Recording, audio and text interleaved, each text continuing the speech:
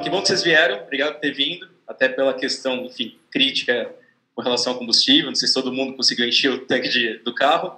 É, algumas pessoas avisaram que ia ter algumas dificuldades para chegarem, tem pessoas que estão vindo de fora, de São Paulo, a gente tem um encontro que a gente vai fazer aqui também final de semana, mas enfim, espero que elas estejam online aqui acompanhando a gente. Hoje é um tema bem importante, né? A gente vai falar das expectativas, das perspectivas do mercado para os próximos dois anos. Ah, é um dia que a gente recebe dois convidados muito especiais, né? então dois expoentes do mercado de planejamento financeiro, diria Brasil e mundo. É, um deles é o Fábio Vidigal, então vou chamar o Fábio Vidigal aqui.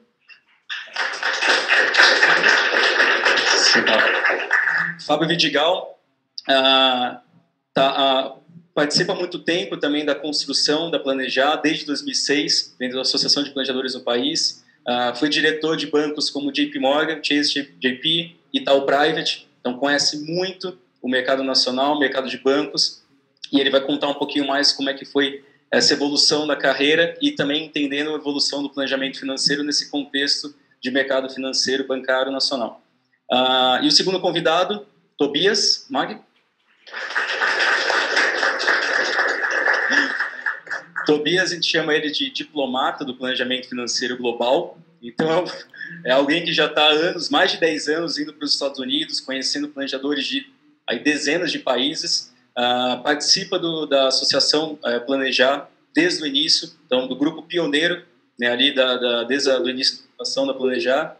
Conhece também muito o mercado global, então, planejamento financeiro de diversos países. Participa também ativamente do FPA, que é a, a Associação Americana, então ele tem muita coisa para contar do que, que, tem acontecido no Brasil e no mundo de planejamento financeiro. Legal? Sejam bem-vindos. Vamos lá? Vamos, se quiserem. Aqui, pode sentar. Uh, em primeiro lugar, eu vou pedir para eles... Bom, vou pedir para eles se apresentarem rapidamente, contar um pouquinho do histórico deles é, profissional e o engajamento também no planejamento financeiro. Vou começar pelo Vidigal.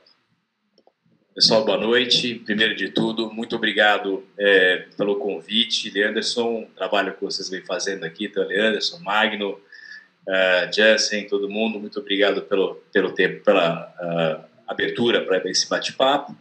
Uh, parabéns pelo evento, parabéns pela estrutura. Vocês estão aqui, né, escritório relativamente, acho que bem novo, na verdade, não é relativamente, já deve ter meses, tá uma beleza, então a estrutura é muito boa.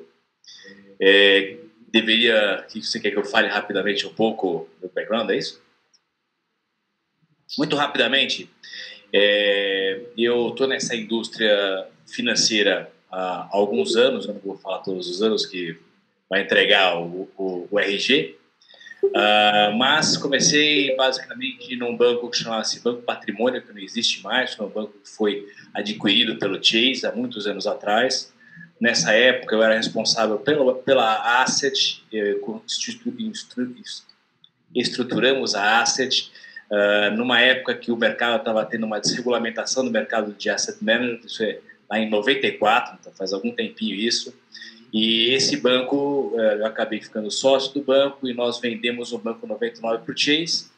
Uh, foi uma, uma transação interessante. Nessa época, nosso tamanho de asset management, quando nós vendemos, era do tamanho do, né, do Chase, então dobramos o tamanho deles e foi uma, uma aquisição às avessas, porque eles nos compraram e nós uh, assumimos basicamente o Chase no Brasil.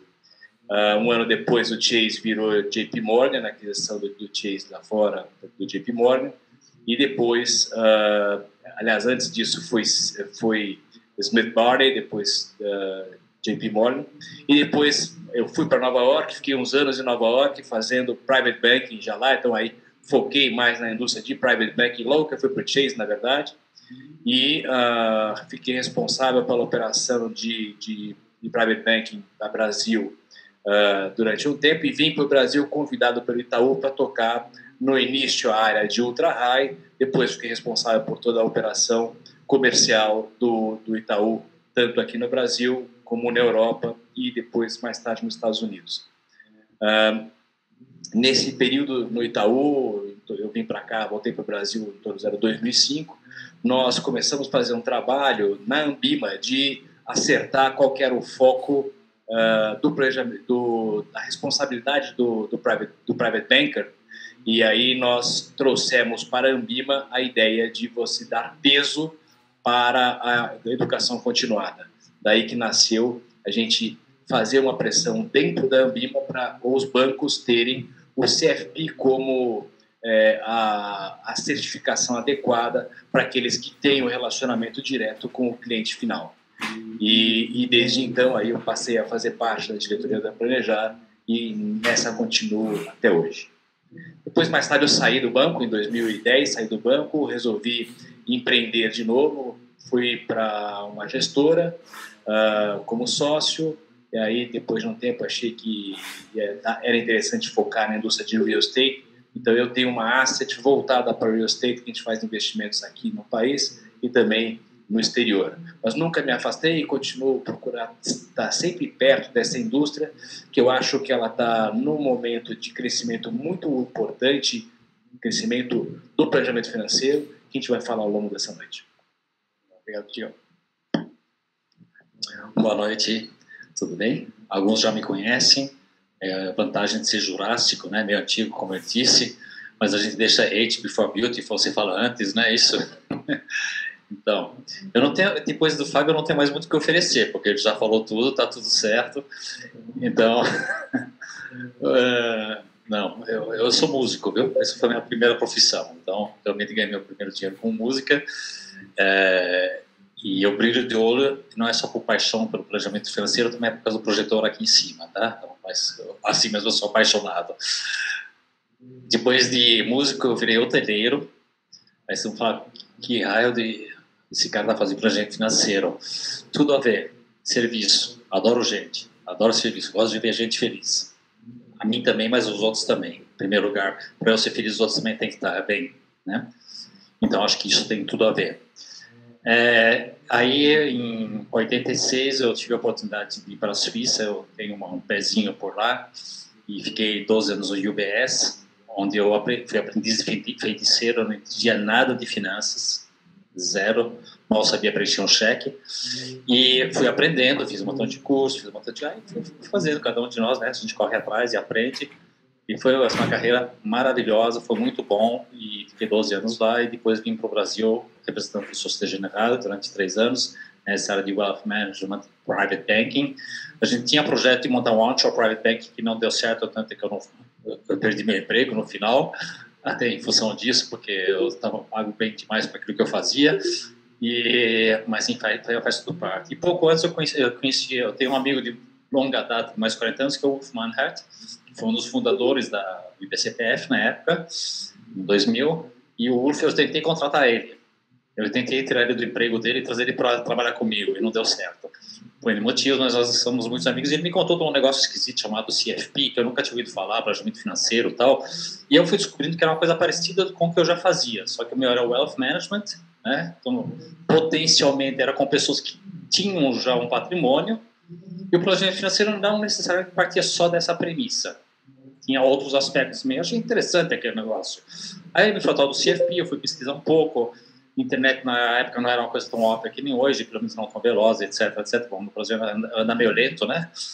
Ainda bem que não é movido a álcool, né? Porque senão a gasolina, porque senão estava ferrado. e comecei a me interessar muito pelo negócio, mas eu estava assim, eu, eu, era totalmente corporate na época, estava totalmente enfronhado, viajar pelo mundo, ah, com paletó bonito, assim, que meus amigos e tal, né? E aí... e aí eu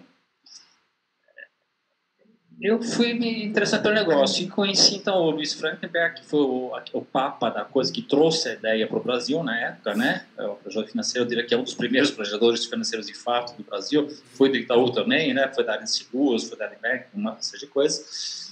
E eu conheci ele através do ULF, e aí conheci outras pessoas que estavam envolvidas. Também teve muito voluntário, muito herói anônimo nessa seara que participou lá em 2000, 2001, 2002 para traduzir os materiais, tropicalizar eles e tudo mais e me convidaram para fazer parte. E me nomearam diretor financeiro.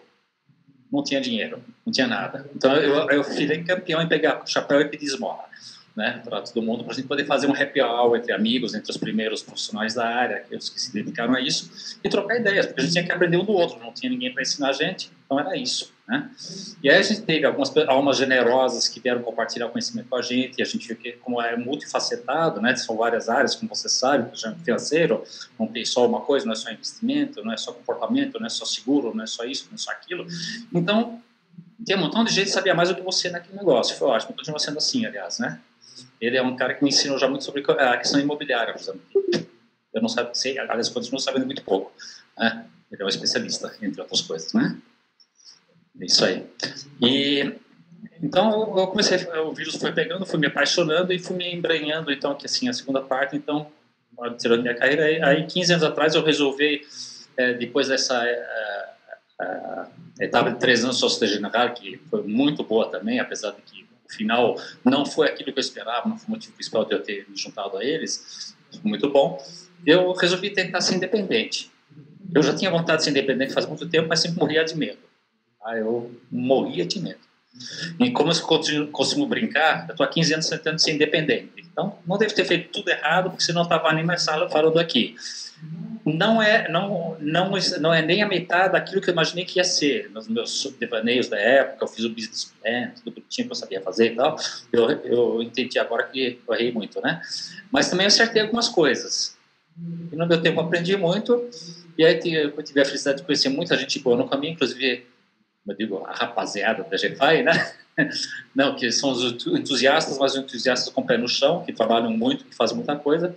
E aí foi muito legal, a gente juntou esforços, como a gente também faz na Planejar até hoje, tem um montão de voluntários, assim, super dedicado, que não confunde voluntariado com falta de seriedade e de compromisso.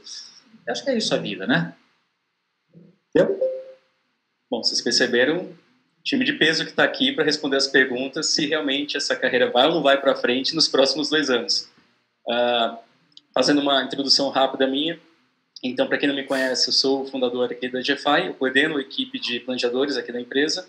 Uh, não trabalhei em banco, então não sei se é bom ou ruim, mas tem uma certa participação de banco, acho que é interessante quando a gente fala, puxa, será que o planejador financeiro tem que passar por banco ou não? A gente vai discutir muito sobre isso.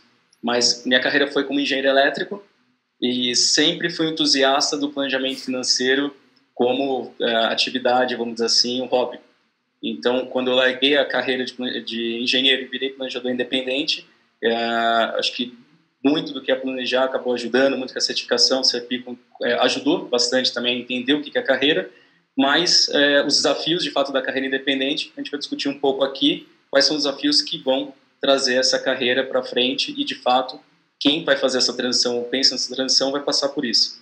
É, acho que nessa busca de respostas, uh, eu acabei me aproximando da Planejar há quatro anos, então sou voluntário há quatro anos e uh, no ano passado me juntei também aqui com os colegas na diretoria da Planejar. Então é, é, é muito interessante quando a gente vê de fato, e a gente vai mostrar um pouco de dados aqui de pesquisas, como ainda é um assunto, apesar de ser um assunto que está em pauta hoje no mercado, mas muita gente ainda tem muita dúvida, até sobre a questão do que, que essa carreira oferece e como ela vai, se, eh, vai evoluir nos próximos anos, que é o que a gente vai discutir é, um pouco aqui. Uh, eu diria o seguinte, a gente vai começar essa dinâmica uh, colocando um pouco de dados. Né? Nós fizemos uma pesquisa, então a gente tem feito uma pesquisa nos últimos meses que a gente conseguiu escutar por volta aí de 800 profissionais né? Então, que estão olhando essa carreira como uma alternativa ou olhando essa carreira como um plano A. E nessa pesquisa, a gente fez algumas perguntas interessantes para entender é, o que, que os profissionais, primeiro, de onde eles vêm, né? só de bancos ou não, de outras áreas, e qual a visão deles. E antes de passar aqui a bola para os convidados, nós fizemos uma pergunta, acho que já você vai colocar na tela, que a gente perguntou o seguinte: como você enxerga o mercado de planejamento financeiro no Brasil? Ver aqui se tem.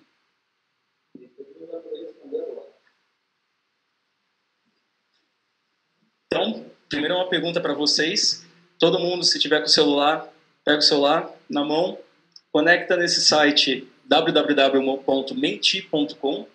Ali tem um código que vai ser solicitado 5454 Uh, 52? 544552. Opa, 5445. E o pessoal online também pode responder entrando aí nessa na página, deixa eu compartilhar a tela com eles.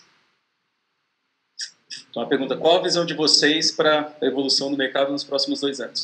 Pessoal online também deve estar vendo a tela aí. Pode entrar nesse link, digitar esse código e colocar a sua percepção. Uma percepção de qual a velocidade que esse mercado vai evoluir e qual o potencial de crescimento desse mercado. São duas perguntas. Bacana. Bom, tem uma tendência aqui bem perceptível que o potencial de crescimento parece que é unânime. Acho que todo mundo coloca aqui com um potencial de fato claro. E a velocidade, meio termo. Parece que é uma velocidade rápida, mas não tanto quanto potencial. Acho que por enquanto é essa, isso aqui que a gente enxerga.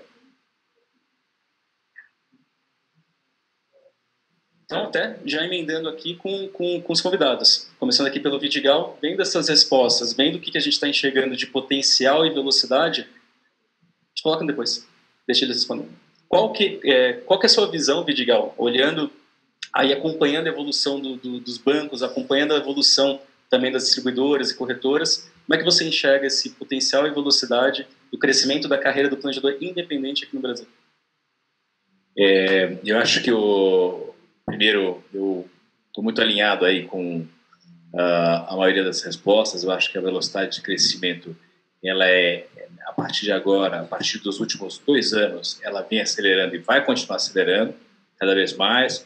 A forma como as pessoas uh, lidam com os seus próprios, uh, o, seu, o seu próprio patrimônio precisa de um advisory. As pessoas estão percebendo essa necessidade cada vez mais e eles não sabiam nem por onde correr.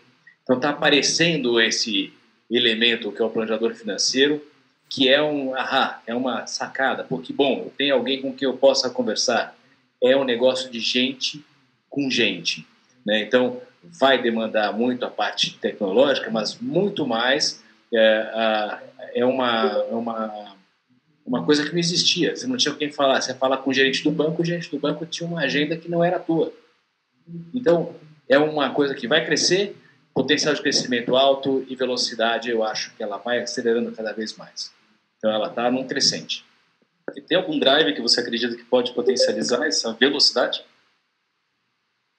É, eu acho que está claro a, a, a, a evolução da, da, da, indústria ela está aparecendo de uma forma com muitos sinais diferentes, Anderson. Você veja aí a, mais o mais gritante, eu acho que é um pouco fora do que nós estamos falando, mas dentro também, é a aquisição da, da, da, XP pela, pelo Itaú.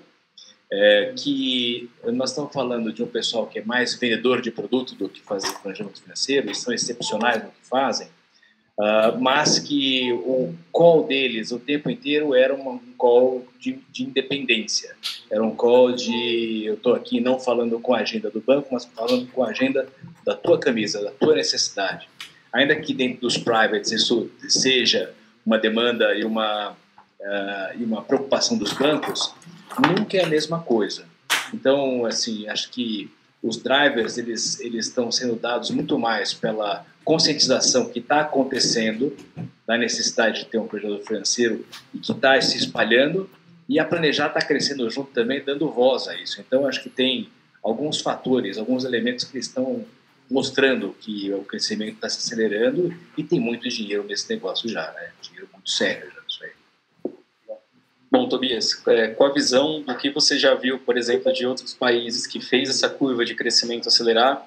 Que drivers que você enxerga de crescimento, crise? Que talvez você comente até um pouquinho do da, em 2008, quando você estava nos Estados Unidos, um pouco da percepção de crise versus crescimento.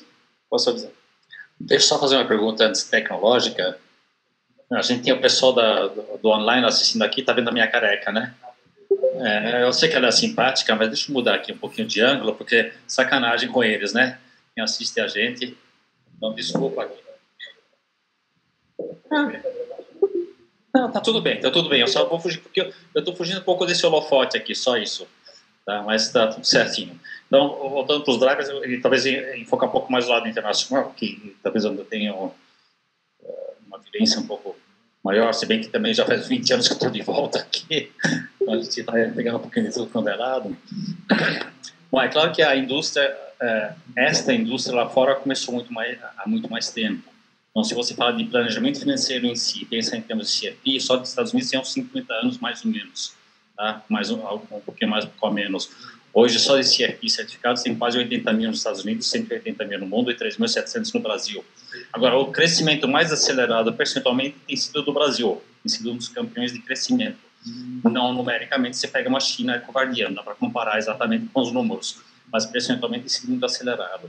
O que está, na minha percepção, está mancando um pouco atrás, que é uma das questões do driver, é a questão da percepção do público. O Fábio já tocou no assunto, mas ainda o, o brasileiro está muito acostumado, mal acostumado, muito mal acostumado, principalmente as pessoas da nossa geração que viram hiperinflação e tudo mais. Nunca o vocal, a questão do planejamento não tava, não fazia parte do, do vocabulário. Hoje pensava de hoje de manhã para hoje à tarde, né? E não muito mais do que isso. Isso vem mudando, obviamente, drasticamente, principalmente as gerações mais novas. Outra coisa que uma mudança significativa, que é um driver importante, é a tecnologia. Então, hoje as, as informações estão muito mais disponíveis. Você tem formatos de planejamento e wealth management hoje acessíveis para diversos bolsos. O que tem é, como tem falta de é, educação financeira, etc, etc, existe uma certa uma cegueira, uma certa miopia e o famoso jeitinho me engana que eu gosto, né? A gente adora ganhar um conselho de graça e não achar que a gente está levando uma vantagem, né? Que na realidade claramente é isso. Né? Uma outra experiência internacional importante que eu tive foi a Suíça, onde eu também vivi muitos anos, trabalhei muitos anos, não só na área indústria financeira, mas também, e onde especificamente a indústria financeira, se você pensa em termos dos private banks, que tanto se fala, né? Que todo mundo que rouba dinheiro põe no banco da Suíça e depois vem se esconder no Brasil, não é isso? Assim, típico dos filmes, né? É, é, enfim, é, o private banking é uma instituição que existe há uns 300 anos, pelo menos, ou mais. Você fala de trust e tudo mais, está falando coisas seculares também. Então, isso são os alicerces de que hoje a gente chama comumente de planejamento financeiro, só que era reservado a poucos muito endinheirados na época, nobreza, realmente grandes dinastias e tal. E foi se popularizando, entre aspas. Tá? E as pessoas em todos os países do mundo tiveram que aprender que tem um preço a pagar por isso. Então, hoje, no Brasil, que você já tem como comum de que se você está com o pé na cadeia, você procura o criminalista, por mais que ele custe, ou se você tem uma dúvida séria em termos tributários, você vai um advogado, ou se você está por divorciar, você vai procurar o outro, e é por diante, ou se você está com dodói aqui, você vai procurar o médico. No planejamento financeiro, ainda são poucas as pessoas que entendem o valor disso, que entendem que isso existe e que esse tem um valor, e que é um valor específico, ou do consultor, do planejador, é um valor diferente do agente autônomo, falando de XPS, por exemplo, ou da pessoa que trabalha em banco, que é extremamente importante. São players diferentes no mesmo jogo, que se complementam. E nessa, acho que no, vou chamar de mundo mais desenvolvido nesta área, pelo menos, a gente, os players, os, os participantes desse mercado, já entendem muito melhor isso e trabalham junto. No Brasil, isso é muito recente, que bancos, que nem Bradesco, Itaú e outros, começaram a abrir plataformas que de forma mais cooperativa com planejadores financeiros. Até assim, via outro e fazia né, show, né?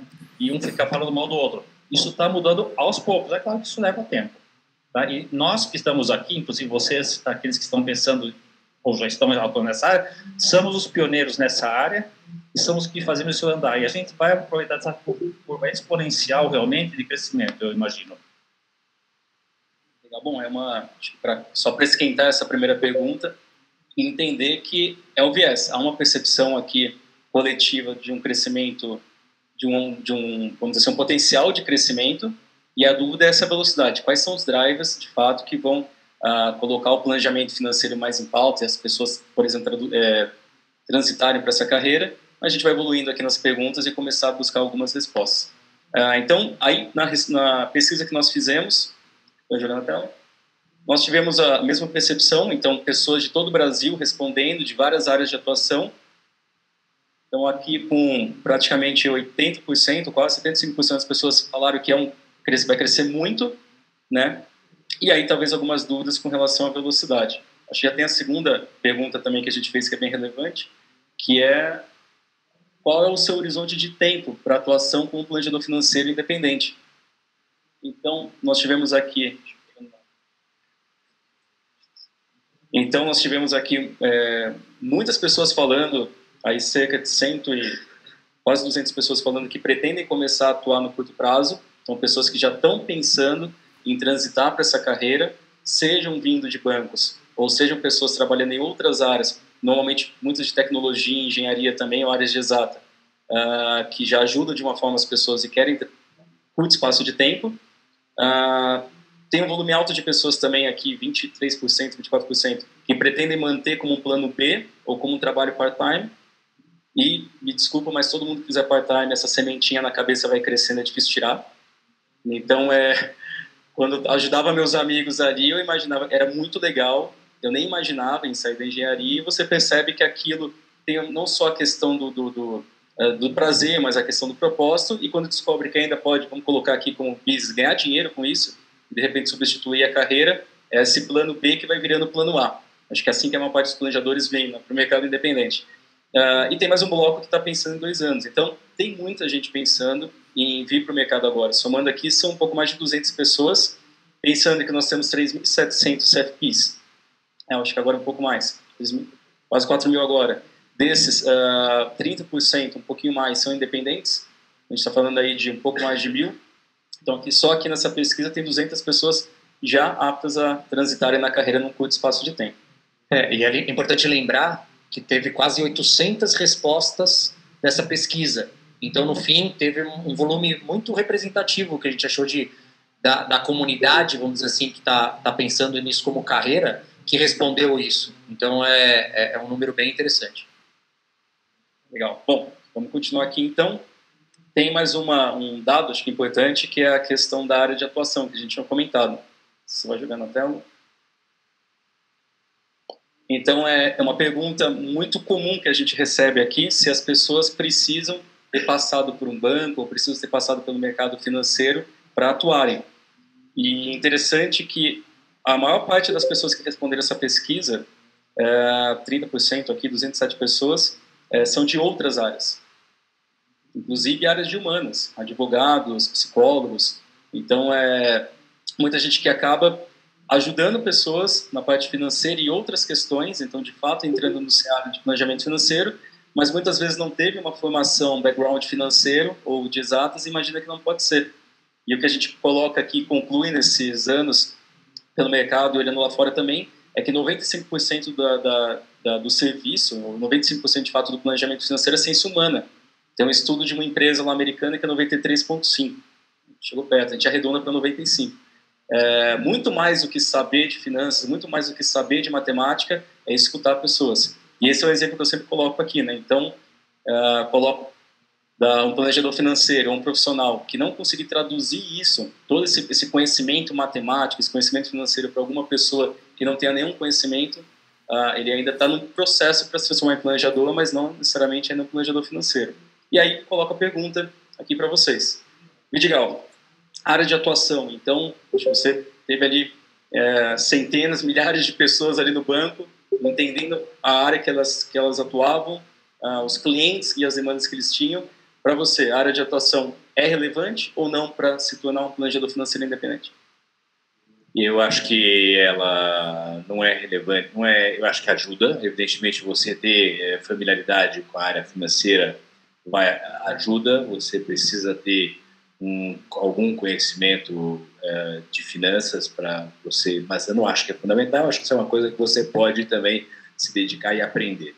Acho que a parte de relacionamento, sem dúvida, ela é fundamental, você saber escutar, você criar um, um, uma, um rapport né, bom com, com quem você é, vai atender é fundamental. Então, não acho que o ponto central é você ter, ter trabalhado em banco. Aliás, eventualmente você ter trabalhado em banco, você acaba tendo um viés mais de produto, mais de uma agenda não necessariamente uh, que abrange o planejamento financeiro como um todo.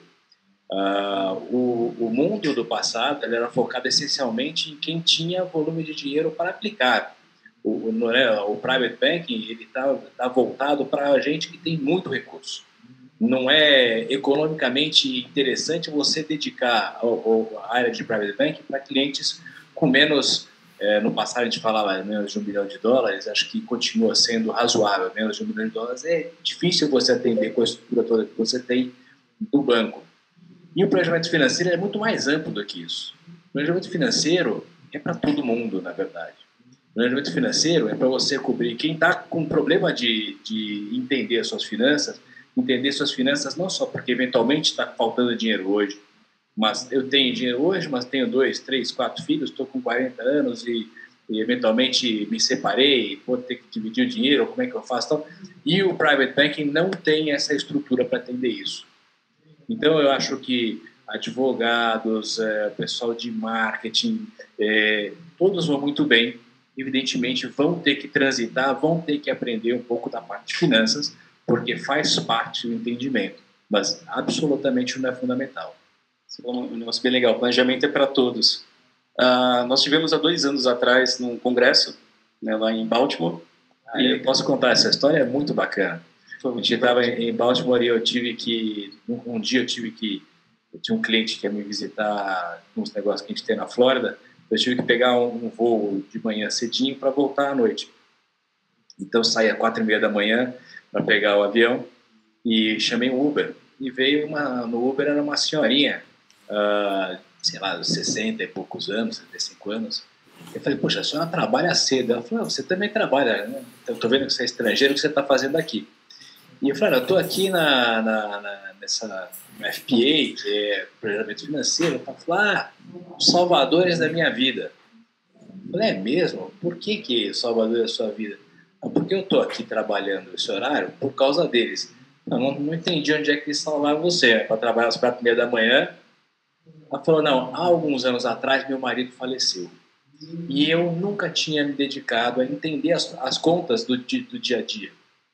E então eu tinha um pouco de dinheiro, mas ia faltar, eu não sabia nem por onde começar a conversa. E aí, indicado por uma amiga minha, eu chamei um planejador financeiro que me ajudou a entender o que eu tinha de disponibilidade, como é que essa disponibilidade deveria estar uh, me ajudando no longo do tempo e quanto eu precisava ganhar para cobrir a diferença para eu manter o meu padrão de vida. E aí, eu não tinha formação, eu não tinha um, me dedicado a, nada na vida, era mais dona de casa, então eu achei que ser motorista de Uber ia dar certo. E trabalhando, eu fui pesquisar o mercado de, de, de Uber, e eu trabalhando das quatro e meia às nove horas da manhã, cobre as minhas necessidades, eu sempre pude acordar muito cedo, depois eu vou passear com minhas amigas, né? e eu tenho encontro com o meu... Eu falei, qual a frequência que você fala com o seu provedor financeiro? Duas vezes por ano, e eu tenho dois provedores financeiros.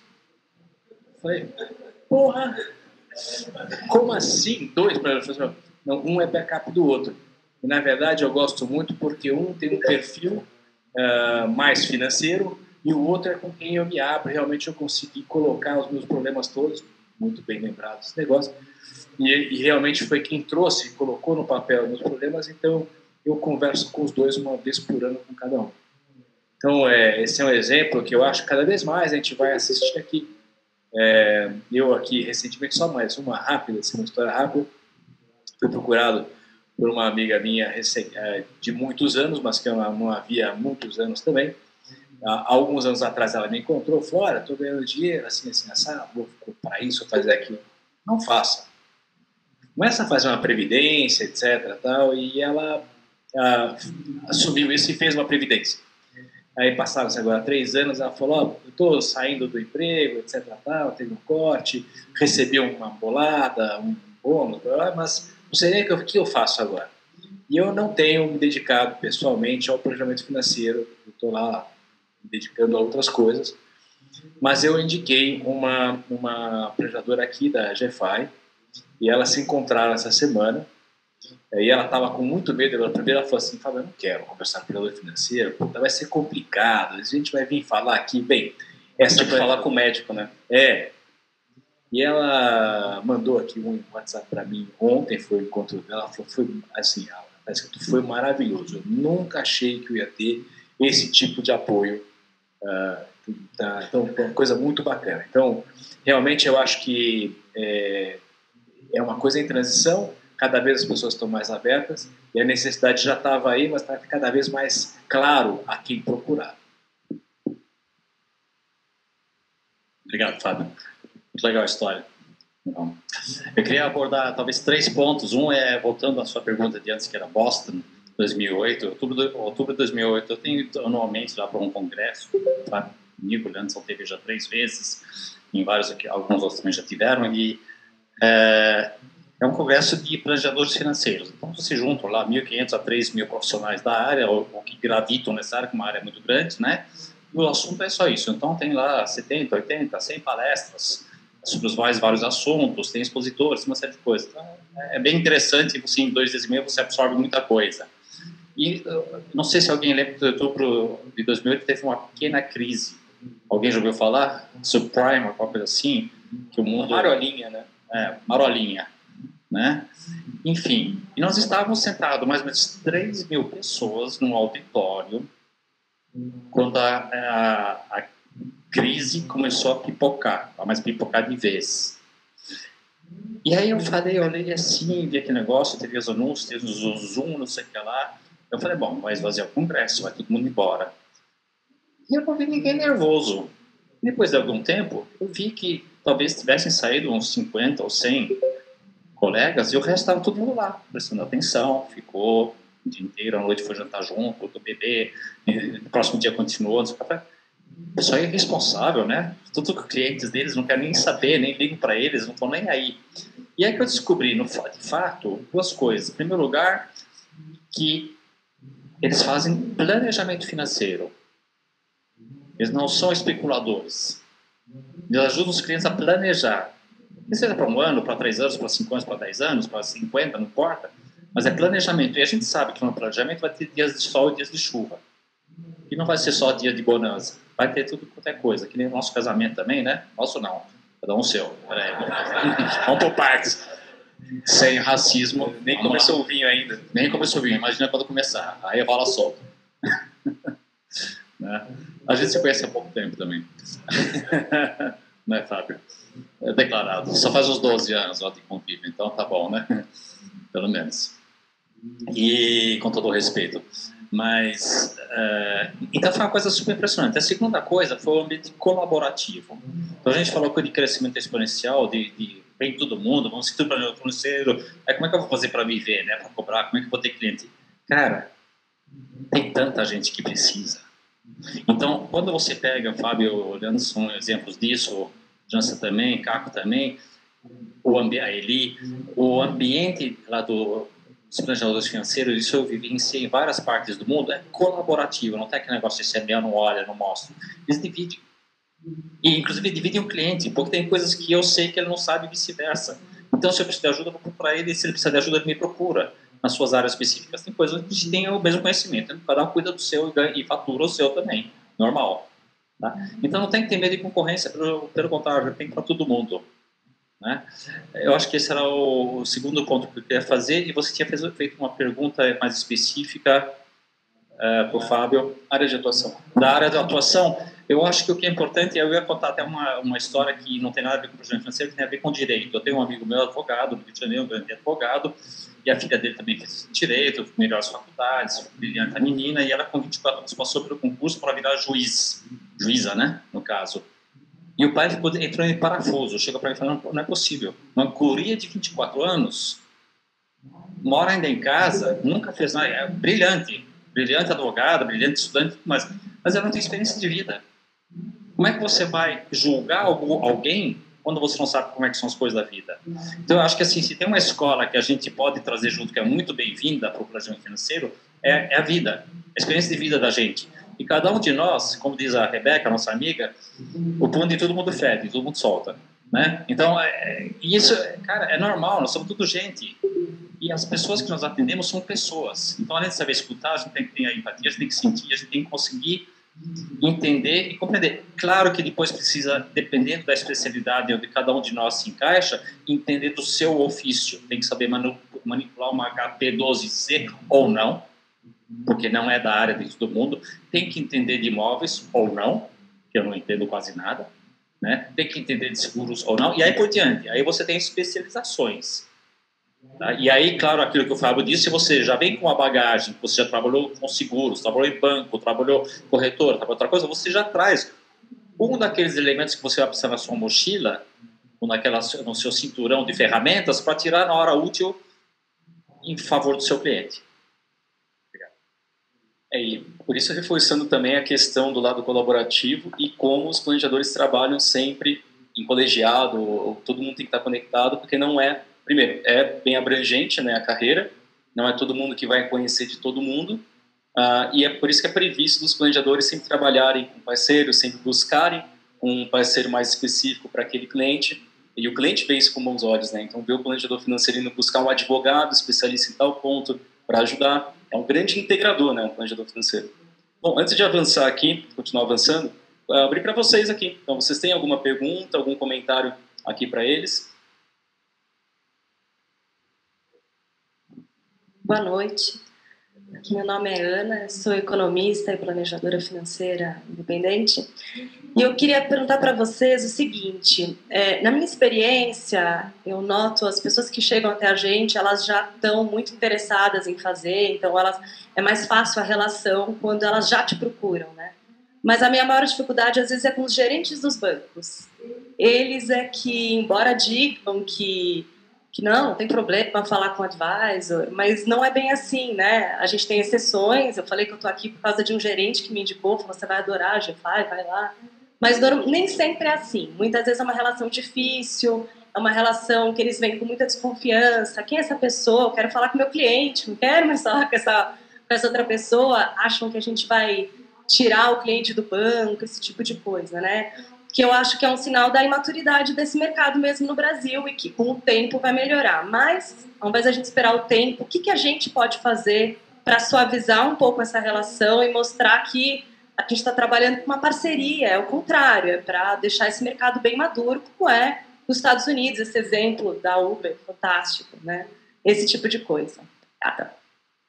Ana, eu acho o seguinte, uh ah, quando começou o pessoal a trabalhar, os independentes, apareceram as primeiras casas de wealth management, que já era então a primeira pessoal que saiu dos bancos, dos privates para montar as, as, casas independentes. A impressão que ficou, e não sem propósito, era que o objetivo deles era dar canelada nos bancos mesmo. Era porque os bancos cobravam taxas muito altas, etc. Então o pessoal ia com uma agenda de apertar as porcas.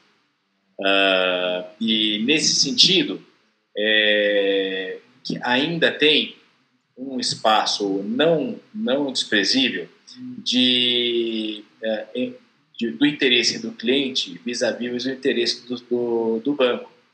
Então, o gerente ele se sente ameaçado naturalmente porque ele vai ter que conversar com alguém preparado ou com alguém que estudou aquela a, a posição que o cliente tem então, há esse desconforto que eu acho que é responsabilidade do planejador financeiro trazer isso que você acabou de falar, porque o objetivo não é você criar problemas, mas também você trazer efetividade, eficiência, maior eficiência para a carteira do seu cliente.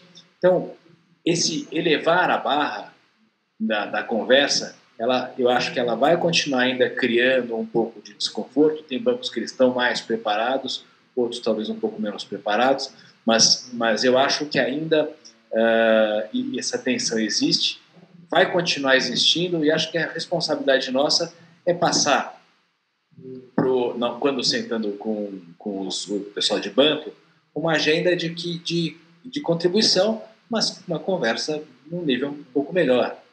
Eu acho que é, é elevar a barra que talvez cause um pouco de desconforto, mas, mas faz parte. Agora você enfiou.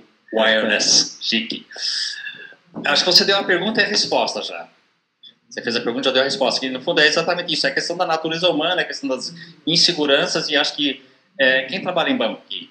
Curiosidade. Já trabalhei, não trabalho mais. Tá, tudo bem, mas como eu disse, foram 15 anos excelentes da minha vida. Agora, a gente fica numa zona de conforto. Então, quando eu falo que eu tento ser independente, todo mês que não dá tão certo assim, eu fico esperando aquele contra-cheque que não vem mais, e não vai vir. E outras coisas, infraestrutura. Meu computador pifou. Zé, dá para trazer outro? 10 da manhã, pô. Será que você pode trazer um cafezinho? Acabou essa moleza. Então hoje eu levanto, levanto faço cafezinho, abro a porta para o cliente, faço o relatório. Eu tenho coisas que eu consigo terceirizar, é que meu, no meu caso eu trabalho realmente em home office e sozinho. Tá? Então é, isso é, pega um pouco mais talvez do que se eu tivesse montado uma estrutura que nem vai GFI, por exemplo, que tem até coxinha esperando você. Para de olhar para cá, é aqui o assunto. Né? né? Então, e os online vão ficar passando, vão ficar babando, né? Mas enfim. Mas é, então, acho que tem muito essa questão de você estar tá mexendo com a zona de conforto dele. E eu tive muitos problemas, eu tive vários clientes, principalmente no meu começo de carreira independente, internacionais. E você chegava no banco lá fora e falava, ah, quem é esse desqualificado lá, chegando no meio do mato, querer falar com o meu cliente? É claro que existe o medo subliminar. Primeiro, existe às vezes uma, um pré-julgamento, como a gente faz de parte a parte, infelizmente. E existe é, uma insegurança de que será que ele vai tirar meu cliente? no final a base de tudo é o cliente, né? E eu acho que a melhor forma é, é, é, é relacional, é quebrar esse gelo, deixar claro que não é isso, que a gente quer trabalhar junto. Eu tive um problema contrário, como independente, eu, eu também me limitei bem claramente, eu sou agente autônomo até, tenho, tirei lá certificação há anos atrás e nunca fui, nunca saí da minha zona de conforto para mudar, mas eu nunca vendi nada para ninguém. Não é minha praia. Eu tenho 90% da minha receita até hoje, nos 15 anos, ou mais do que isso, foi pago pelo cliente, foi FII do cliente. Então, só para dizer que isso é possível. Não é fácil? Não, não é fácil. Parece que tem escorpião no bolso, né? Na hora de pagar, au, au, au, au, dói, né? Dá um susto. Mas, enfim. Mas dá para fazer. E aí, eu levei alguns clientes que queriam então, fazer gestão de carteira de dinheiros brasileiros, etc. E eu não, não queria entrar nessa seara, também para não entrar em conflito de interesses com regulamentação de CDM e outras coisas, eu levei para casas especializadas. Como é que eu selecionei essas casas? Não por rebate, porque eu não queria rebate. Todos me ofereceram, eu não queria. Eu falei para o cliente, você me paga. Eu vou te levar lá, eu te apresento casa 1, 2, 3, são pessoas idôneas, que trabalham bem, que eu tenho boa experiência, e você escolhe. Eu te assessoro tal, e você me paga por hora, por mês, por... Assim, o critério que a gente combinar. Combinado não é, não é caro, né? É barato. Então, a gente combinava, o que acontecia depois de três meses? Eu apresentava para o Leanderson. O Leanderson era o cara correto, não fazia nada errado, não tentava tirar não tenho dúvida. Mas o cliente virava para mim e falava, cara, o Leanderson é tão bacana e a GFI é demais. E até coxinha à noite lá. Sabe uma coisa? Você não precisa mais vir comigo. Aí eu perdi a receita e perdi o cliente, que era minha fonte de, de indicação para novos negócios. Então foi um desafio que eu tive que, que eu ainda estou resolvendo. Eu resolvi em parte mas não é tão óbvio. Então, só para fazer o caminho contrário. Obrigado. Legal. Bom, uma pergunta? Boa noite. Meu nome é Luciano. É, tem uma, uma pergunta que agora está muito em voga, né? a gente vê LinkedIn, artigos, acho que deu uma, uma explosão aí de, né, de artigos e de pessoas comentando sobre educação financeira né, e sobre planejamento financeiro pessoal. O Ricardo Amorim, semana passada, escreveu no, no LinkedIn um artigo interessante sobre educação financeira, né? E eu tenho um ponto muito forte que a educação, de modo geral, né, é, o, é a base de, de, tudo e a educação financeira, com certeza, é a base para né, você ter uma população saudável que vá fazer as coisas desde cedo de maneira correta, né? Hoje a gente está atuando com o pessoal já formado, né, que tem 20, 30 anos, né, ou uma outra geração que tem um conhecimento prévio ou falta de conhecimento sobre finanças, sobre né, como lidar com o dinheiro. Mas eu queria ouvir de vocês se, se tem alguma proposta, né, alguma ideia diferente de como que a gente poderia atuar na base, né, desde criança, pré-adolescência, etc., para é, não para perder os clientes, né, mas para ter gente mais embasada e que que aprenda ao longo da vida também como lidar e a gente vai, vai contribuir com, com uma parcela diferente desse conhecimento. É Luciano, né?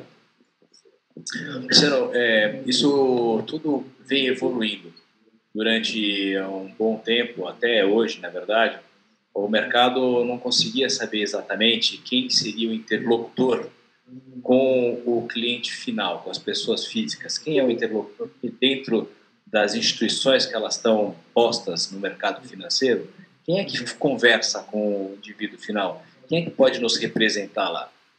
Quando nós, ah, ah, em 2006, trouxemos a ideia de, de, de que a, o CFP, a certificação de planejamento, planejamento financeiro, fosse reconhecida dentro do mundo private, ela estava ligado, ligada mais à, à, educação continuada, à percepção de, um, de um, uma certificação reconhecida internacionalmente, um padrão de alto nível, aspectos da, da ética, etc., uma série de coisas. Mas já naquele momento a gente via também que eventualmente seria um canal de comunicação com a pessoa física, porque a Ambima ela tem um que é o nosso principal sponsor, né, então que ela congrega todos os bancos na parte na, na, tem mais mais sofisticado, né, na indústria, então aquilo que é relacionado ao mercado de capitais, é, a, as transações aos fundos, etc., é, é, é, fica sob esse guarda-chuva. E mesmo lá, falei, bem, como é que quem vai nos representar nas pessoas físicas no final? Agora, mais recentemente, nesses últimos anos, a gente tem feito um trabalho bastante próximo junto à CVM, uh, ah, é, ajudando a CVM a comunicar com a população embaixo para ajudá-los a uh, fazer planejamento financeiro para a população que está carente de um advisory uh, em finanças, né, como planejar a sua vida, etc. E esse caminho ele está sendo trilhado enquanto nós estamos aqui falando. Na verdade, isso é uma coisa recente.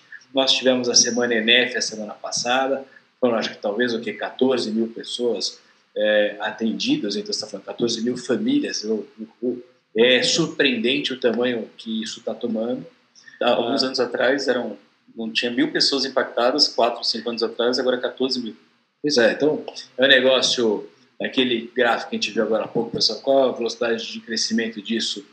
É difícil dizer, mas eu acho que ela tem um potencial de crescimento muito alto e a velocidade é desejado pelos, uh, pela indústria financeira que o, o, o, cidadão seja financeiramente mais planejado, porque isso no final é de interesse público. E agora, o ano passado, foi aprovado o, é, a educação financeira na, nas escolas. Então, você começa, valendo a partir de agora, de 2018, é, ter educação financeira na escola. Então, você está no momento, assim, no maternal do planejamento financeiro aqui no país para você ter essa, esse reconhecimento, o crescimento dessa indústria. Quando eu falo que eu realmente acredito que nós estamos num momento que ela, é, a maioria das respostas foi ela grande potencial, mas a, a, velocidade ali o pessoal um pouco na dúvida. E eu entendo que essa dúvida ela é muito válida porque realmente você precisa de muitos, muitas frentes empurrando para que isso vire uma agenda importante. O que eu estou dizendo para vocês, que dividindo aqui com vocês, é que a importância, o reconhecimento de que o planejamento financeiro é importante, ele está no, no mais alto escalão do setor financeiro, é, está no topo da agenda. Então, isso é uma, é uma coisa que ela vai acontecer e nós aqui somos os precursores disso de uma forma é, mais bem estruturada. Uh, eu acho assim, quando a gente, falando aqui uh, né, do, do, do, nossa, nossa tantos anos aqui trabalhando juntos aqui na, na Planejar, assim, quando esse jeito é, brincalhão, mas quando você vai conversar lá fora sobre planejamento financeiro no mercado internacional e os planejadores financeiros, o pessoal conhece o Tom Tobias aqui. É uma referência de conhecimento e o pessoal sempre tem, né, fica surpreso como a nossa velocidade de crescimento dessa nossa indústria aqui. Mas ainda assim nós somos menos de 4 mil ainda. Então, esse negócio ele está em curso, uh, eu acho que pegando velocidade, e, e tem uma, uma preocupação nos mais altos escalões de que isso uh, esteja cada vez mais bem trabalhado para que a previdência, para que uh, você tenha uma população mais bem organizada. Fazer o planejamento financeiro muda a vida das pessoas. De fato, isso é uma realidade. É isso aí. Eu não quero chover no olhado, talvez só complementando acho que quem, principalmente a gente está aqui com gente que talvez está pensando em, em, ou já abraçou, está pensando em abraçar esse tipo de atuação. E a gente tem que ter consciência que é um trabalho de formiguinha, que ele está no começo da curva, no começo da curva, desculpa. É, o que acho que é a boa notícia é que a gente, se os Estados Unidos levaram 50 anos para chegarem onde estão hoje, nós não vamos levar 50 anos. A gente vai levar anos. Já estamos levando anos, mas não vai levar 50. E tem uma população ávida muito grande e tem uma população também não necessariamente da Semana ENEP, que é uma população que propositalmente a gente procura atender, que é uma população que talvez não tivesse os meios de acessar isso é, nesse estágio da vida delas, mas é, tem uma população muito grande que pode sim, mesmo dos endividados e outros, que, que precisam e que podem. A gente basta a gente com o nosso trabalho de formiguinha, e tem a Nejar muito envolvida, até a CVM hoje em dia muito envolvida, a BIMA, uma série de outros atores envolvidos. Na Semana NF tem três ministérios envolvidos, órgãos importantes do governo, Banco Central, etc. Quer dizer, é, é, não é pouca gente tentando reconhecer do valor a necessidade disso, não é porque alguém é Madre Teresa Calcutá é só bonzinho, mas é porque todo mundo reconhece o valor disso, políticas públicas, etc. Né? Acho que esse é, acho que esse é um ponto e talvez só para compartilhar a semana ENEP, você fez palestra essa semana também? Semana passada? Você já participou bastante. Não, é, Dessa vez não. Dessa vez não, eu tava... Não, tudo bem. Participar, tá? Não, mas obrigada. O pessoal da Planejar fez, acho que, 300, 300 é, palestras. Mais de 300 palestras. Mais 300 palestras. É, eu, eu também, quatro, enfim, você também. Então, vários me fez cinco, olha lá. Então, e, e nós fomos para públicos totalmente diferentes. Eu posso falar minha experiência, eu fui numa no Instituto Técnico Federal em Viamão, que eu não sabia nem que existia, que é a 40 minutos de Porto Alegre. Cara, foi fascinante. Eu tive um público, uma noite de quase 80, outro público, outra noite uma público de quase 70, para falar uma vez sobre o planejamento financeiro público, outra vez atrelado a dívidas. No outro dia eu fui falar para um, um, um grupo de funcionários do McDonald's, uma loja de McDonald's. Cara, foi incrível. Entre um hambúrguer e outro, eles entrando e saindo e tal. Mas eu tinha gente chorando lá dentro.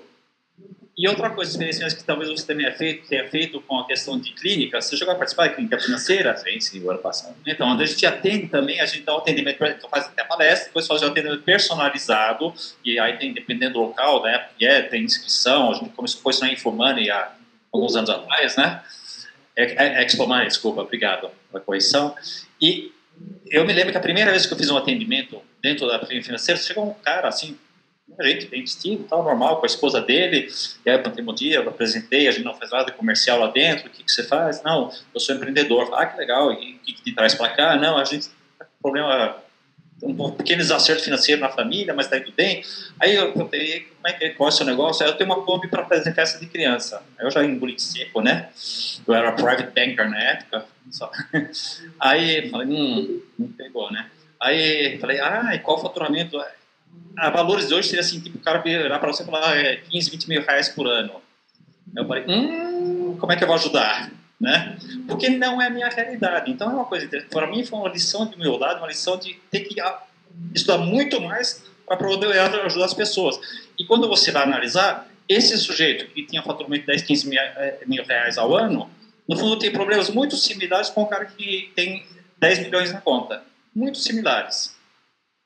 Educação. Tem uma pergunta online aqui, é, mas só lembrando, galera, quem quiser pegar o microfone, dar um depoimento, ter uma história parecida também que já vivenciou, acho que essa troca é muito legal. Tem pessoas aqui em diferentes estágios né, de atuação, então quem tiver algum depoimento, alguma coisa, legal. Uh, o Ed aqui perguntou para o Tobias, aquela hora que você falou que trabalha sozinho, em casa, home office, uh, qual que é a forma que você usa para prospecção? Olha, eu já tentei de tudo. Lícito. não, não. Eu já tentei vários caminhos. Eu, eu tinha. Eu, então, assim, como nós somos super transparentes, acho que é, é parte da questão de, de estabelecer, para estabelecer elos de confiança, empatia e tal, é ser transparente, ser honesto. Eu tinha um problema até dois anos atrás, 2016, que eu tinha uma série de clientes que me procuravam que tinham parte do patrimônio deles no exterior e não tinham tido a oportunidade de botar isso em ordem e regularizar isso tributariamente.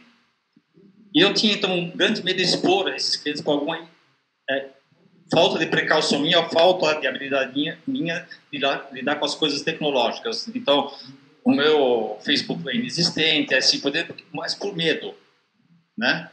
e, e fazer uma coisa errada que pudesse prejudicar os meus clientes. Em 2016 teve o evento do REAC, da regularização de capitais no exterior, todos os meus clientes aderiram, todos estão em ordem hoje, graças a Deus. Tá? Então, eu posso fazer um pouco mais de marketing, Ed, né? eu posso fazer um pouco mais de, de, de marketing, eu, eu criei um site, eu começo a falar um pouco mais, aí escrevo os artigos de vez em quando, aí vem da palestra aqui, a pessoa, pô, o cara deve manjar pra caramba, né? E assim, carequinha também sempre ajuda. É uma das poucas, poucas profissões, o cabelo branco e careca ajuda. Mas sotaque difícil também, é o charminho que eu faço, tem que me esforçar. Mas, enfim, são essas coisas assim, porque é credibilidade, é experiência, as coisas que contam, né? Empatia, escutar, tal, tal, tal, tal, tal.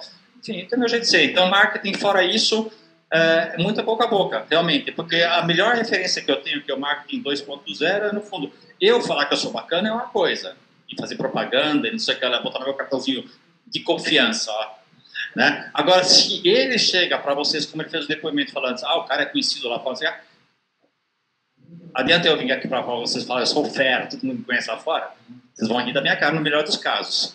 Né? Mas quando vem de alguém outro, e quando vem especificamente do cliente, né, que eu não posso revelar para você se o Fábio é meu cliente, não feriria meu código de ética e de confidencialidade, não, mas brincadeiras à parte.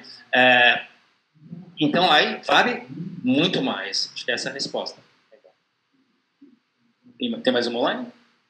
Bom, vamos seguir então uh, com mais algumas estatísticas aqui e a gente volta para abrindo para perguntas. Uh, tem uma questão muito interessante aqui, Mentimeter, que sempre é questionado a questão de uh, escolaridade ou formação, ou enfim, o que, que você precisa estudar, em que nível que você tem que estar para ser um planejador financeiro. Então, uma pergunta simples aqui, qual o grau de escolaridade aqui do, do pessoal?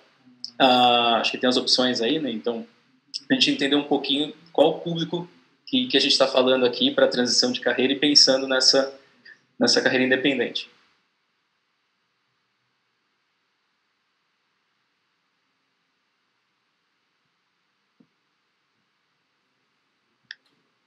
Pessoal online também, vale para vocês, só entrar aí na, na tela. Deixa eu... Vocês devem estar visualizando aí, pode responder também. Código, de novo, é o mesmo, né? 544552.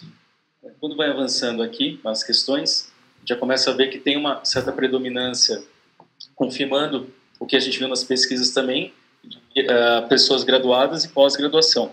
Vamos deixar aqui, já deixa no final, tá legal, vai respondendo? Beleza. É interessante, o que a gente vê muito do, do quando a gente recebe pessoas para falar da carreira, é, acontece muito, o Tobias pode confirmar também, que é o que a gente vê lá fora. Quando a gente vai num congresso de planejadores financeiros dos Estados Unidos, nós vemos muitas pessoas de, é, vamos dizer assim, é, mais maduras. Então você vê, já não é um, um público tão jovem, pelo contrário, são pessoas que já passaram por uma carreira e estão buscando planejamento financeiro como a carreira, ah, vamos dizer assim, pós-institucional, aproveitando de toda essa experiência que ele tem, ou aproveitando de algum tipo de conhecimento específico que ele quer aplicar agora, mais voltado até para uma, não diria a carreira da aposentadoria, não é o caso, mas a carreira definitiva, que dá prazer agora. Então ele vai fazer alguma coisa que não só ganhe, como também dá prazer. E a gente acaba vendo uma característica interessante, né? São pessoas que já estão então de fato avançadas na carreira. Não são pessoas que ainda estão iniciando na carreira, é, numa carreira, vamos dizer assim, na área, na, na área de trabalho. E eu queria perguntar para vocês aqui, o que, que vocês enxergam? A pós-graduação é importante, é relevante ou não? A questão de formação sempre ajuda, né? E acho que o fato de a gente ter esse, é, é, esse resultado aqui, que acho que corrobora o que vocês já tinham visto antes, mostra que, obviamente, voltando a, desculpa seu nome? Luciano, eu pergunto Luciana da educação, a gente tem esse problema básico no Brasil da educação, que é geral, não é, e não é formar doutores na universidade, ou pós-graduados, mas sim ter pessoas que façam um primário, terminem ele, talvez façam também o que é, é, é ensino fundamental, depois vem o que tem depois? Ensino médio, quer dizer, que terminem esse, não como eu estava falando do Globo Repórter de hoje, que todo mundo sai da escola e tal, tal, tal, tal, tal, tal, né? Então, esse tipo de coisa é a mais básica, e quem não tem nem essa instrução, como é que vai pensar no, na, na, no financial literacy, na alfabetização financeira, você não sabe nem escrever, ou principalmente não ler direito entre as linhas e talvez consiga ler o texto, mas não entendeu nada que está escrito lá dentro. Então, acho que esse é um fato. Outra coisa, talvez só uh, dando um enfoque um pouco diferente do que você colocou lá de fora, se você pega Estados Unidos especificamente, você tem centenas de universidades que oferecem cursos de graduação, quatro anos de planejamento financeiro, quatro a cinco anos. Tem universidades que dão pós-graduação e, e algumas universidades dão doutorado, mestrado doutorado e pós-doutorado em planejamento financeiro, só para você ver o nível de sofisticação que vai. Eu não sei se eles estão viajando na maionese ou se, se vale tudo aquilo que está falando, mas, cara, é muito profundo o negócio, é muito, vai muito longe. Então você pensa, o guri que fez a escola e depois vai lá com seus 18 anos, vai para a faculdade, vai jogar beisebol, não sei o que lá, e vai fazer as, todas as matérias de planejamento financeiro pessoal, durante quatro anos. É claro que ele não tem experiência de vida, que é nem a filha do meu amigo advogado, a juíza que não, nunca trocou uma fralda nunca viu nada, né? Então, tudo bem. Então, ele vai ter que pegar rodagem, ele vai começar, e nós vimos vários modelos de negócios fora, onde as estruturas dos negócios montados são para ter uma escadinha para o sujeito entrar lá para baixo, sem toda aquela carga de responsabilidade. Então, ele vai no começo só preencher a folha amarela ou a folha rosa, depois, hoje é na planilha, né? É, ele vai fazer uma coisa e vai crescendo, vai fazendo cursos complementares, vai adquirindo experiência, vai, vai, vai estar junto com talvez um par que é um pouco mais experiente, né? Então, eu acho que tem muito disso. A educação, claro, que ajuda, mas a gente tem que tomar cuidado para que a educação não crie prepotência também. Acho que é uma coisa importante, não é porque a gente é doutor que outro vale menos. Só comentando rapidamente, eu acho assim que nós estamos numa realidade uh, de primeiro a educação é, é, é sempre fundamental, é importante você estar tá sempre se educando eu acho que a realidade do mundo ela está numa velocidade, as, as estruturas elas estão sendo todas elas questionadas e não não abrindo mão da, da, da, da educação, mas elas não necessariamente são é, só a formação, né, o, o pós-graduado, só o ensino superior. Acho que ela tem mais coisas.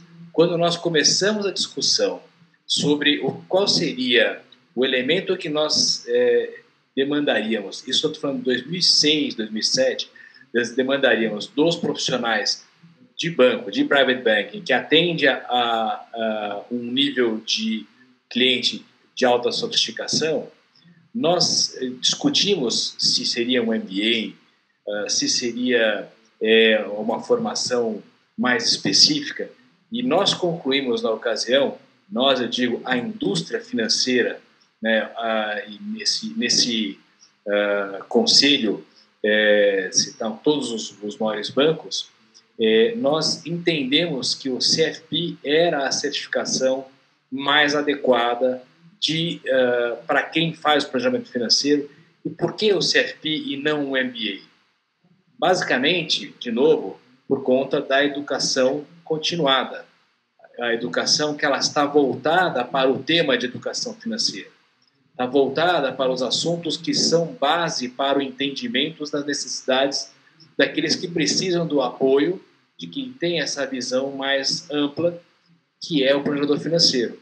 Então, assim, eu acho que não necessariamente aqueles, nós estamos aqui com uh, uma, uma incidência bastante grande de, uma, de bastante formação, muitos pós-graduados, ensino superior, e temos também no ensino médio, ensino superior incompleto, não é. Não, não, ninguém deve se sentir menos porque tem né, essa parte mais formal para trás. Acho que tem que. Educação, se você não corre atrás, a vida ela está muito ágil, muito rápida. Se você não estuda, o tempo passa, você fica para trás, vira velhinho.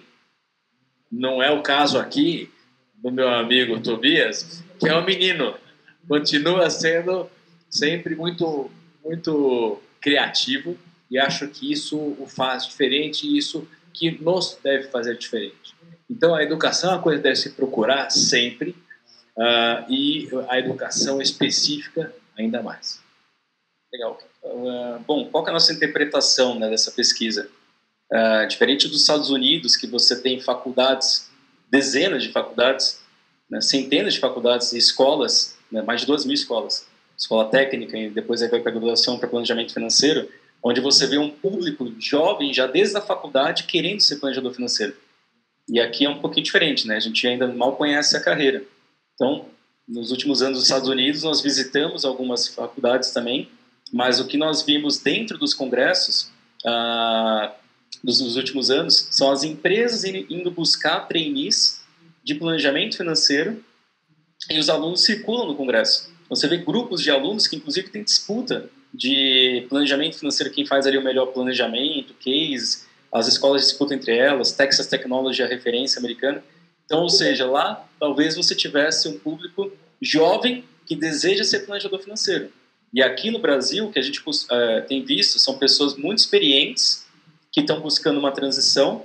Então, por um lado, a gente vê que essas respostas são respostas de pessoas que estão, uh, vamos colocar dessa forma, mais decididas, né? então mais assertivas ali com relação à carreira, uh, mas mostra também que a gente ainda está muito imaturo com relação à carreira. Então, realmente são poucas pessoas que estão pensando nisso, são pessoas que já têm alguma graduação mais avançada, já estão no nível, vamos dizer assim, mais maduro da carreira e agora estão pensando nessa carreira como alternativa ou como transição.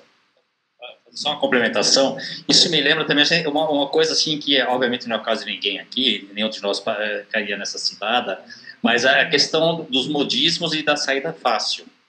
A gente tem que tomar muito cuidado, porque dá palpite todo mundo pode ser planejador financeiro, qualquer um pode botar no cartãozinho que é planejador financeiro. Não pode falar que é CFP, mas pode falar que é planejador financeiro.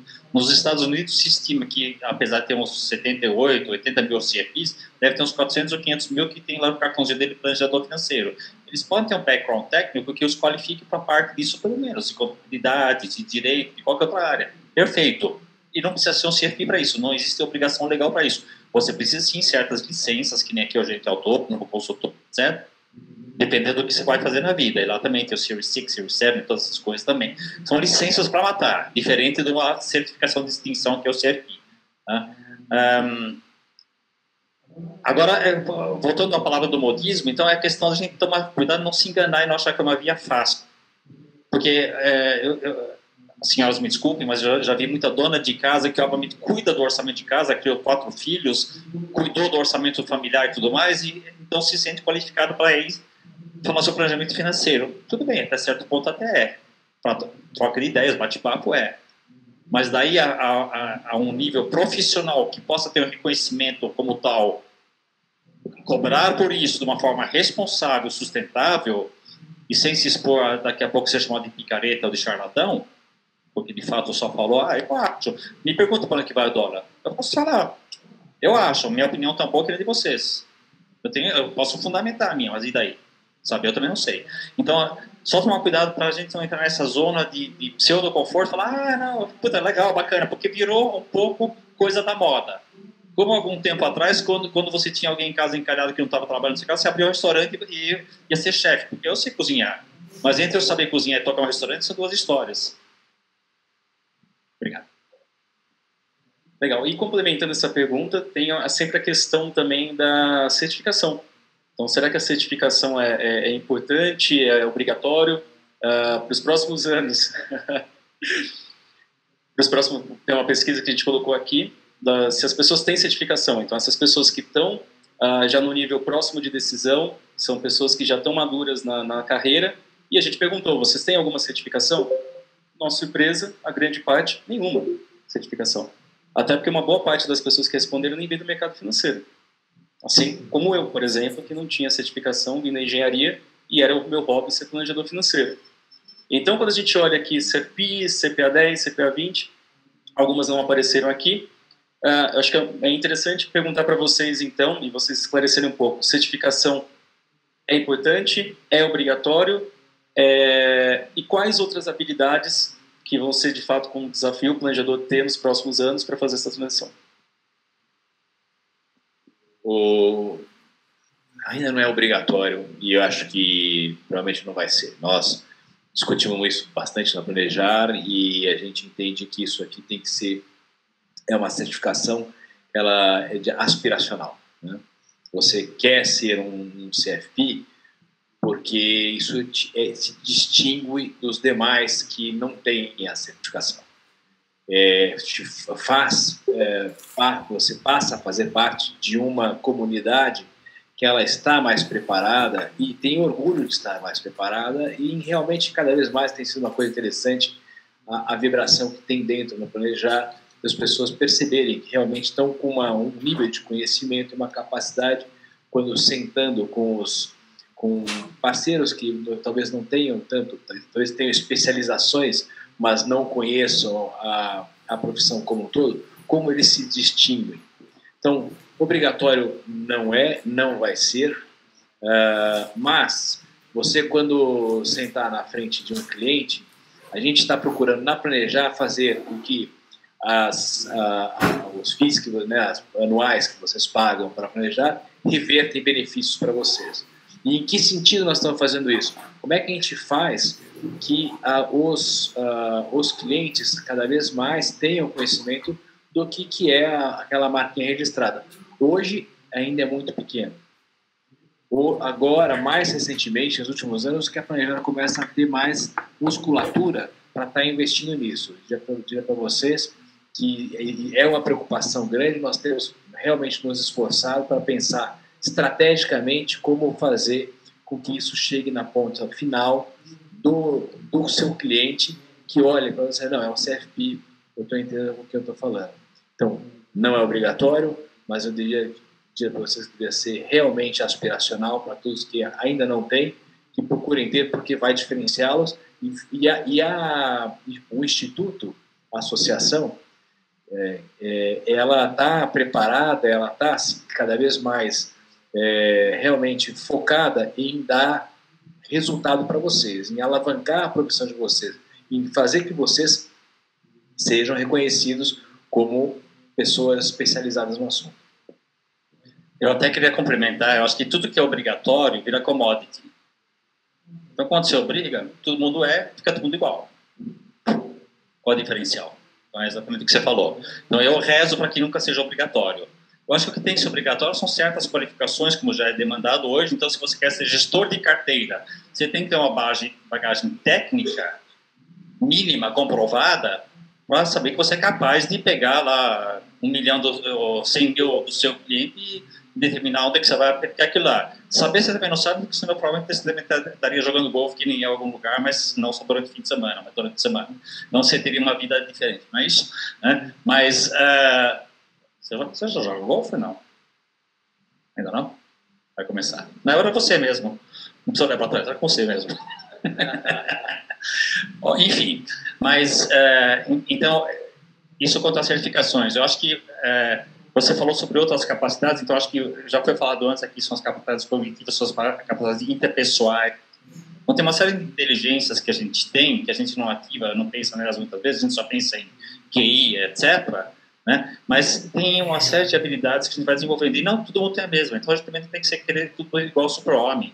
E acho que aí o meu apelo é muito mais da, da certificação do que da, da autoanálise e do foco de que você quer, da definição do nicho do que você quer fazer na vida. E qual o cliente que você quer. E não pega o cliente que você não quer. A vida é muito curta. Escolhe que, que tipo de negócio você quer fazer, o que você se identifica, o que te dá. Tá gravando, né? Te dá tesão de levantar de manhã, ir para lá e fazer aquilo lá, trabalhar e com prazer ver o seu cliente não acontece mais falar ah, de novo, né? Eu acho que é isso que é importante. Aí o resto vem junto, aí você vai correr atrás, você vai fazer educação continuada, você vai procurar o que você não sabe, você vai fazer parcerias com quem sabe melhor do que você um montão de coisa, e não vai achar que você tem o rei na barriga e pode tudo. É o recado. Bom, pessoal, perguntas? Abrir para mais uma rodada de perguntas, comentários. Dentro. Bom, meu nome é Leandro. Só antes da pergunta, eu queria só falar para a questão do, da, das escolas, né? Que no site do, do NF, que é vidaedinheiro.gov.br, está disponível toda, todos os livros que vão ser usados nas escolas para download. Então, quem quiser pode olhar lá, baixar, olhar, saber o que está sendo ensinado. Está tudo lá para disponível. Bom, eu queria fazer uma pergunta principalmente para você, Fábio, que quando atuando no Itaú, tinha uma abrangência nacional, né? É, você, você entende que talvez no banco não fosse tanto assim, mas com planejamento financeiro, atuar no interior, onde o acesso não é tão grande quanto em São Paulo, onde a gente tem acesso fácil a muita coisa que vem de fora e tal. Você acha que no interior é, também tem um potencial de crescimento grande? Vai ter uma resistência maior? Vai ser uma coisa para um próximo momento? Ou você acha que o interior já é, é possível crescer no interior também? Desculpa, seu nome? Leandro. Leandro. Eu, acho assim que uh, há ainda uma percepção uh, quando você trabalha numa grande instituição uh, que a placa te ajuda. Então você vai lá e você vai se apresentar lá. Eu sou o Fábio de Itaú, né? É, eu sou o Leandro do, sei lá, do UBS. Eu sou e você fica respaldado por uma uma marca e, e eu acho que isso está mudando. Na verdade, eu acho que o mundo está mudando. As marcas, elas no mundo, elas estão em xeque. O Itaú sempre vai, é, é, sempre. A minha visão é, dentro do que eu olho hoje para o Itaú, da forma como é conduzido, eu acho que é uma bruta marca, vai continuar sendo. Mas o mundo inteiro, e, e foi só uma pequena propaganda, foi maravilhoso trabalhar porque é gente muito séria Uh, e sempre, evidentemente, o indivíduo, o cliente final, quando você tem um, uma marca que impõe respeito, a pessoa tende a te escutar rapidamente porque te, te entende assim. Mas as grandes marcas no mundo inteiro elas estão em xeque. O, o valor do indivíduo também está crescendo bastante de uma forma perceptível no mundo inteiro, nos, nos, em todos os cantões do mundo. Então, é, é, o indivíduo que ele tem uma proposta que ela é bem clara e bem entendida, vai ser uh, escutado. Eu acho, e eu não consigo falar porque eu não tenho, não vivi a experiência, né? mas eu tenho a impressão de que você consegue fazer o teu trabalho de forma bastante relevante também no interior, porque existe essa, esse persona, essa personalidade, esse personalismo na profissão do, do planejador financeiro? E essa esse é, trabalho que está sendo feito de uma forma ampla no Brasil inteiro agora a gente não via antes está começando agora ele vai cada vez ficar mais arraigado e você tendo é, uma apresentação de que eu sou um planejador financeiro e essa é a minha formação eu acho que o pessoal vai te escutar então eu tenho a impressão que essa eu, eu, eu vejo a aceleração da carreira uh, e entendo uh, planejamento financeiro como carreira, como profissão. Uh, eu acho que isso vai talvez um pouco mais devagar ainda hoje, mas acho que deve tomar muito corpo ao longo do tempo. Então, eu, eu vejo realmente como uma, um business que vai crescer muito no indivíduo e naquelas instituições, eu acho que vão ter é, é, carenagens que vão permitir ao indivíduo financeiro é, fazer uma entrega mais bem, bem arrumada, mais ágil, mais é, limpa. Você tem alguma algum alguém te respaldando um pouco para te dar agilidade? Acho que aqui fazendo um pouco de propaganda nesse sentido para a GFI, mas é, é, esse sentido de você ter uma caridade que te, te ajuda e te acelera as respostas, porque você fica também muito sozinho, você né, o, o planejador financeiro totalmente solitário, eu acho que ele é talvez um caminho um pouco mais árido. Uh, então, eu acho que as, as, estruturas elas podem ajudar e no final da linha é, é, é o Leandro que está aparecendo mesmo, a confiança está em você. Então, eu acredito nisso.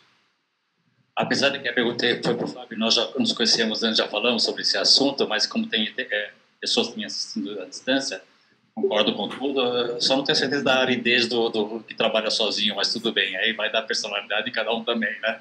Mas enfim, e, mas é um esforço extra que tem que fazer, assim como se você está num lugar menor, em São Paulo o aquário é muito maior, tem muito mais peixe, mais fácil, você faz assim, tem um peixe espalhando na sua mão. Talvez em um lugar menor, mais distante, você tem que esse aspecto você vai ter que trabalhar um pouco mais. Agora, acho que é a sua pergunta inicial de que aqui a gente tem acesso a tudo. Hoje, nos tempos de internet, na informática, você tem, não, existe lugar onde você não tenha menos que não tenha sinal realmente. Aí ferrou. Né? Mas fora isso, você tem acesso realmente no mundo inteiro a, a praticamente tudo. E tudo tem interesse. E, e aí a segunda colocação que eu faria é a questão do nicho. Escolhe seu nicho. Então, se você está no interior, dependendo de qual cidade que a gente está falando, eu por acaso sei, mas não vou revelar. É... Não, também não vou revelar que é a irmã dele, porque vocês vão cair de costas. Não, similaridade, nenhuma similaridade, só acaso. Está rindo lá atrás. mas, tirando isso, é... você tem fazendeiros muito ricos no interior, usineiros, quer dizer, se for dinheiro a questão, mas não precisa ser dinheiro, pode ser outro público. Depende do seu business model, do seu modelo de negócio, que é uma pegada que a gente está aproveitando, já que eles vão pagar as coxinhas, fazendo a propaganda também, né? Eu, eu, acho que também essa pegada empreendedora que a gente trouxe aqui para a APF e que tem vários lugares para você falar sobre isso, é importante. E como último gancho também, você falou de não ficar sozinho, não ficar árido, que nem essa própria pessoa aqui, é, é assim, existe um negócio mesmo para quem não é CFP. Alguém é CFP aqui? Um, dois, oh, nossa, quantos? Que mesmo quem não é CFP ainda, pode estar nessa comunidade. Então, você pode fazer spot publicitário. A gente tem aqui muitos voluntários aqui dentro que ajudam. E tem um, né, tem um, uma figura nova que nós desenvolvemos desde o ano passado, mais ou menos, que é o associado não certificado. Quer dizer, você não pode ser por falando que você é certificado, porque você não é, mas você pode ser associado. É um valor relativamente simbólico, eu não lembro, é de 400 reais por ano, coisa assim, e você tem com isso acesso a todas as PECs, a todos os programas de educação continuada é, por vídeo, presenciais, etc. Tem desconto para depois fazer o exame, tem desconto nisso. Cara, é assim, é um no-brainer, é um negócio que não tem que nem usar a cabeça para é assim, no cheque vai embora e, e, você faz parte da comunidade, bem, se envolve, começa a participar, começa a se enturmar, começa a pegar a pegada, começa a pegar dicas, porque a gente aprende assim. Eu perguntando, ele perguntando para mim. E eu, a gente dá aula juntos também, né, Caco, Eli e tudo mais, a gente sabe que a gente aprende tanto com os alunos, acho que talvez mais do que eles aprendem com a gente, às vezes. Então, acho que essa interação de vocês, continua nesse grupo, se me dá, acho uma, uma coisa fantástica. Antes de rolar isso aqui, tem uma porta aqui com um cartaz aqui na frente, estava rolando também um evento na Planejar, que foi das 7 às 7h45, foi um pequeno pequena fase de, de, de, coordenação nossa, mas enfim, não, não atrapalhou em nada, que era é, três pessoas dedicadas à questão de psicologia comportamental e finanças comportamentais, debatendo o assunto. Muito legal, mas vocês podem acessar. Quem for associado, com certeza, pode associar, porque isso é gravado. Então dá para rever, tem um acervo fantástico. Fica a dica. Complementando essas, essas duas coisas, eu acho que a, a associação é muito legal para participar do ecossistema, né? Como a gente fala, porque às vezes você nem tem a pergunta, mas você está participando lá e a gente está desenvolvendo uma série de ferramentas que vão trazer mais e mais é, bibliotecas, né, vamos dizer assim, para os associados, seja de documentos, de vídeos que já tem, né, da comunidade virtual e vários outros, etc. Então, às vezes, é pergunta que você nem sabe que tem, que você já vê lá, nossa, não tinha nem pensado nisso, olha, já tem uma solução. Né? Se você está participando desse ecossistema, assim como aqui tem várias discussões que a gente faz nos meetups, também são bem interessantes. E só complementando o que eles falaram em relação a quem não é de São Paulo, eu acho que aqui tem um aquário, tem muito peixe, mas fora daqui tem muito peixe e tem pouco pescador. Então, a chance de jogar a rede e pescar gente, eu acho que é muito maior. A gente já teve exemplos de ex-alunos da PF fazendo isso fora de São Paulo, assim, com, é, deslanchando muito rapidamente, porque simplesmente está sozinho, né, no Mar Azul. No Oceano Azul, na, na, cidade, no interiorzão do Brasil, gente vindo de Rondonópolis, de Manaus, de, de, de Floripa, tem, tem, tem muita coisa para se fazer. Quem que precisa de é, planejamento financeiro? Todo mundo. Então, assim, se achar que fora de São Paulo e Rio as pessoas não precisam, não estão dispostas a pagar ou alguma coisa assim? Não. Ah, será que vão pagar menos? Tudo bem, o custo de vida também pode ser menor em outras cidades. Também, talvez precise de menos para fazer lá. Mas eu tenho certeza que a concorrência é menor. É, é, bom, complementando e aproveitando que tem pessoas de todo o Brasil aqui que estão acompanhando também, falando da questão do, do interior, ou vamos dizer, é, fora dos centros, dos grandes centros. Ah, na nossa experiência aqui, é, como GFI, nós vemos que os clientes é, o público que está mais afastado dos grandes, das grandes ofertas de serviços, normalmente eles têm um, um perfil um pouquinho mais, é, vamos colocar, bairrista. Que é a questão da confiança, não é? Todo mundo se conhece. Primeiro que é muito fácil as pessoas se encontrarem, né, como uma hora e meia para cruzar a cidade para olhar para se encontrar com um advisor, por exemplo. Ah, e as pessoas elas têm uma relação muito de confiança. Então, se tem e são grandes famílias ou grandes núcleos ali, então são todo mundo se conhece. Quando tem uma família, por exemplo, é, não um indivíduo, mas a família acaba contratando ali o planejamento financeiro, naturalmente ela acaba levando para outras pessoas. É o meu advogado de confiança, é o meu planejador de confiança. Então, nas nossas curvas de crescimento de clientes, a gente percebe que é muito mais rápido em, em centros menores para essas indicações, esse crescimento orgânico acontecer, do que numa cidade como São Paulo. É que São Paulo é vasto e tem vários núcleos, né? Então, as pessoas às vezes nem têm tempo de falar com outra pessoa que sabe falar do planejador que ajudou, apesar de acontecer muito. Mas no interior realmente é uma relação próxima e as pessoas é, acabam tendo um crescimento muito mais rápido. Então, talvez atuando no interior, sendo um planejador financeiro, provavelmente você vai ser muito mais rapidamente conhecido e referenciado do que, pelo menos a nossa experiência, do que numa cidade é, maior, por exemplo, pelo, pelo contexto. Tá ok? Mais alguma pergunta, comentário? Jansen? Só pegando os comentários aqui, já de coisas que o pessoal online foi colocando, é, o Diego colocou aqui, daquela questão do gerente do banco, ele falou que ele é gerente geral de um banco público e ele falou o seguinte, que ele percebe que o que mais pesa é o receio da perda do cliente porque ele repassa alguma informação ou orientação que vai divergir do que o planejador fala. E aí acontece uma quebra de credibilidade. Ou seja, acho que o, o gerente acaba sentindo que o cliente que tem um planejador, ele tem um trabalho a mais de é, tentar prever o que o planejador está falando para não divergir e acontecer uma quebra de confiança. Né? Então, ele colocou isso, que para mim faz bastante sentido. É, ele falou que é de Mato Grosso, então Mato Grosso presente aqui também. E mais uma coisa, clientes alta renda do agronegócio. De fato, saber quem você é faz a diferença na construção do relacionamento e o marketing boca a boca tem muita força. Acho que pegando essa questão do, do interior. E só o, o uh, ele colocou que as escolas e instituições de ensino em geral não preparam o cidadão para a vida como deveria. E aí veio a discussão sobre a questão da Semana ENEF, da educação financeira, de já ter materiais pensando na educação financeira. Beleza? Já é. posso só, só interpor uma coisa? Pode. Do, do, do banco, é, me ocorreu ainda um, um aspecto. Experiência lá de fora, principalmente. Confesso, não é, não é algo brasileiro, mas enfim, banker é banker em qualquer lugar do mundo, de alguma forma. E uma coisa que eu tentei que deu certo para mim, realmente, é que eu, sempre que eu dava de algum cliente que já tinha conta com o banco, é primeiro conhecer o banker também, junto com o cliente. Não para ter jogo marcado, combinado, nem nada, porque eu estou lá para o cliente, não estou lá para o banker. Né? Esse é meu cliente e esse está em primeiro lugar. Mas eu acho que eu não sou o dono da verdade. Ninguém é. Então, se eu consigo envolver o banker nessa relação também, eu quebro esse gelo, eu quebro essa desconfiança, eu peço opinião para ele, eu dou opinião para ele, e o cliente está sempre sabendo o que eu estou fazendo, sempre transparente. E para mim foi o que mais ajudou a destruir todas as barreiras que eu encontrei pela frente. Bom, mais uma vez. Ele? É, eu queria colocar só. Do, primeiro, parabéns aos três aí, está sendo excelente a palestra, é, o debate aqui, mas é, a Semana ENEF me surpreendeu quando eu fui lá palestrar para as crianças, principalmente. Falei, puxa, como é que eu vou levar o tema planejamento financeiro para crianças de 10 a 14 anos, na verdade, média de 12 anos de idade. E foi surpreendente. Então, é, eu vou tentar passar aqui o áudio de uma menininha que me fez depoimento. Tá? Olá, sou a Radinha, moro em Paraisópolis, tenho 12 anos. E eu gostei muito da palestra por causa que ensinou da mesma base para como conseguir chegar onde eu quero chegar no futuro.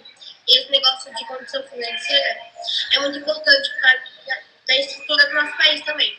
Porque tendo uma base financeira, sabendo administrar nosso dinheiro, a gente vai conseguir chegar num lugar bem melhor. E a nota tia do da palestra 10 e a palavra é excelente. Qual o seu sonho, Radinho? É, é conseguir fazer a faculdade de Direitos. Olha, uma advogada aqui. Eu, eu quero ser juíza. Juíza? Então, assim, para mim foi um tapa na cara, né? É, de como a mensagem é subliminar, tirando o 10 que ela me deu, excelente, mas essas crianças não são crianças, elas estão prontas e pensando no futuro. Então, se a gente trabalhar essa educação financeira de forma correta, com o apoio do planejador financeiro nas vidas dessas pessoas, com certeza elas vão alcançar esses lugares mais e, enfim, aposentadoria, sonhos e vida. Tá? Vocês, uh, como é que vocês imaginavam, então como profissionais e também como, como chapéu aqui de planejar, como vocês imaginavam em 2016 que nós estaríamos agora, em 2018, pior ou melhor? E agora fazendo esse trabalho de novo, pensando hoje, para os próximos dois anos, o que, que vocês estão enxergando? João. Uh, bem, a gente na, na Prejat vem fazendo um trabalho uh, de para que essa base ela seja bem atendida e possa crescer de forma uh, robusta. Uh, mas eu vou te falar assim, a minha sensação nessa uh, passados dois anos aqui hoje, eu acho que a gente está muito melhor do que a gente imaginava. Eu tenho uma, uh, uma natural visão otimista das coisas, das pessoas. Eu acredito nas pessoas, tá? E eu acreditava que a gente podia estar tá bem, eh, crescendo é, a velocidade das aprovações nas provas, elas, ela vinha trazendo 300, 300 e poucos novos CFPs por, por ano, por é, prova. Antes eram duas provas, depois passaram agora três, já faz dois, três anos que eu tenho três provas. E, e, e, a gente tem visto cada vez crescendo mais, então eu tinha uma expectativa de crescimento. O que eu não tinha expectativa, que a gente está vendo hoje, é como nós estamos inseridos numa, é, numa, num crescimento muito inteligente dentro da Planejar, uh, utilizando todas as, o ferramental mais digital, né, a comunidade, que eu acho que muitos de nós aqui estamos nessa comunidade, aqui no WhatsApp, trocando ideias, é, e, e, diversas outras frentes. Então, a, essa velocidade, ela está maior do que eu esperava, e, os, uh, e as, as, os, as metas elas foram ultrapassadas e elas foram ultrapassadas de longe e continuam aí. Eu acho que tem uh, meu minha visão é estamos melhor do que estávamos, que imaginávamos estaríamos e vamos ficar ainda melhor daqui para frente. Não sei se respondi, mas eu só estou tentando entender. A gente está melhor do que a gente estava. A gente está melhor do que havíamos programado estar. Tá certo. Aliás, melhor do que a gente havia programado estar em 2002, quando a gente levou o nosso business plan para o CFP Board em Singapura, na época, é, com o Luiz Frankenberg, com o Jean Carsten, com a Suzana Ferreira, o Wolf Mannhardt, eu tive o privilégio de fazer parte dessa turma, e a gente então foi lá um colegiado lá de bacanas, de CFPs do mundo inteiro, nós éramos Zé Ninguém, nem existíamos, e fomos lá pleitear para sermos os que íamos implantar isso no Brasil. Nós tínhamos os, a vontade, o conhecimento, como é que é? é, é reputação ilibada, aquelas coisas todas que se fala por aí, né? Qualquer um, é só falar que qualquer um acredita, tá tudo bem. E, enfim, e foi uma coisa muito, muito, muito desafiadora, muito legal, né? E foi uma sabatina uh, puxada e naquele momento eu digo, eu era diretor financeiro, lembra? Que não tinha dinheiro. E foi só de dois anos para trás, não vai fazer Pois é, mas eu gosto de. É, sabe, quando a gente tem, tem, tem. Quando a gente é senhorinho, a gente tem que lembrar as coisas, a memória antiga, memória curta falha. Então, é, voltando a isso, a nossa projeção na época, e o Ulf e eu fomos os, as, os mais atuantes nessa questão do, do business plan, era de longe otimista demais para o primeiro momento eu lembro que nós falamos de mil planejadores financeiros. Demorou para chegar lá. Bom, chegamos, ultrapassamos, como você disse, e agora fazendo fast forward para dois anos atrás. Eu acho que era um momento é, de política e economia muito complicada no Brasil, tá?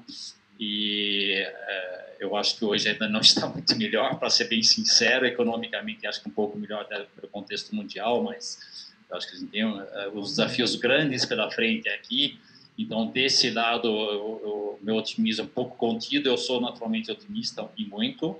É, do lado da profissão, não tenho dúvida que ela está destinada ao crescimento exponencial. O que eu, eu torço, eu acho que é um esforço que a gente faz muito grande, é que seja com qualidade. Mas sabe uma coisa, tu pensando aqui, falando alto, é um bate-papo, até essa quebrada que o Brasil deu nesses últimos anos, que quebrou um monte de gente, pessoas físicas, isso também foi um elemento que fez aí CBN, Banco Central, tem alguém para nos ajudar a falar como é que essa turma volta a se reorganizar financeiramente?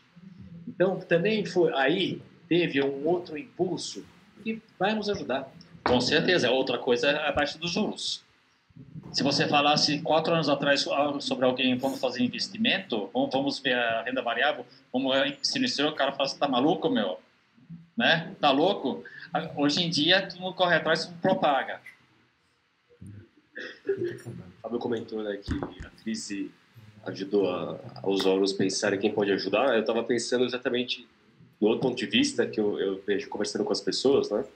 Estou começando a atuar agora na, na área, mas é, as pessoas com essa crise toda, essa economia né, parada nos últimos dois, três anos e agora ainda meio andando de lado, eu sinto que isso também tem propiciado que as pessoas se preocupem com o presente e com o futuro, mais a questão da previdência, né, e, e todo o rolo político que está.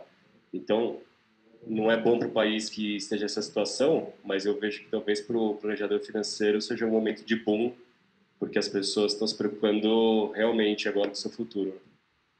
Isso aí. Está virando uma, uma questão de política pública, porque realmente não é interesse, quando a gente discute a questão da previdência, por exemplo, aposentadoria, etc., não é por nada, porque o Estado não é bobo também, de bobo não tem nada, e sabe muito bem que essa carga toda de gente quebrada em algum lugar vai cair em cima, vai criar um problema social enorme que nós já temos e que pode virar exponencialmente maior. Então, o interesse todo é sim começar a dar um pouco de musculatura para as pessoas se virarem elas mesmas, não é porque a gente é bonzinho. Quer dizer, eu estou falando agora. Mas começou a bater também a, no, no, nos bancos também. Começa o nível de imprensa começa a crescer, você começa a ter uma pressão em diversas outras dimensões, mas de quem está lá, se, se você eventualmente cresce o nível de imprensa de tal forma que você cria um problema sistêmico, você coloca um, um problema no país inteiro. Então, daí que virou política pública e daí que é, começaram as, as ações na semana ZNF e no, nos, nos, chamaram, porque quem pode falar sobre financeiro, planejamento financeiro? Tem alguém que sabe falar aí? Pô, tem uma turma lá que chamava assim PCPF, tem uma turma lá, nós queremos falar. E aí foi abrindo espaço e o nosso relacionamento com a CVM cresceu sobremaneira a partir daí. Até então, eles não conseguiam entender exatamente qual era a proposta de valor que a gente tinha. E a partir daí, eles falaram assim, poxa, não é que planejamento financeiro funciona? Faz sentido o que esses meninos estão falando? Então, foi uma, também foi um divisor de águas. Um ponto.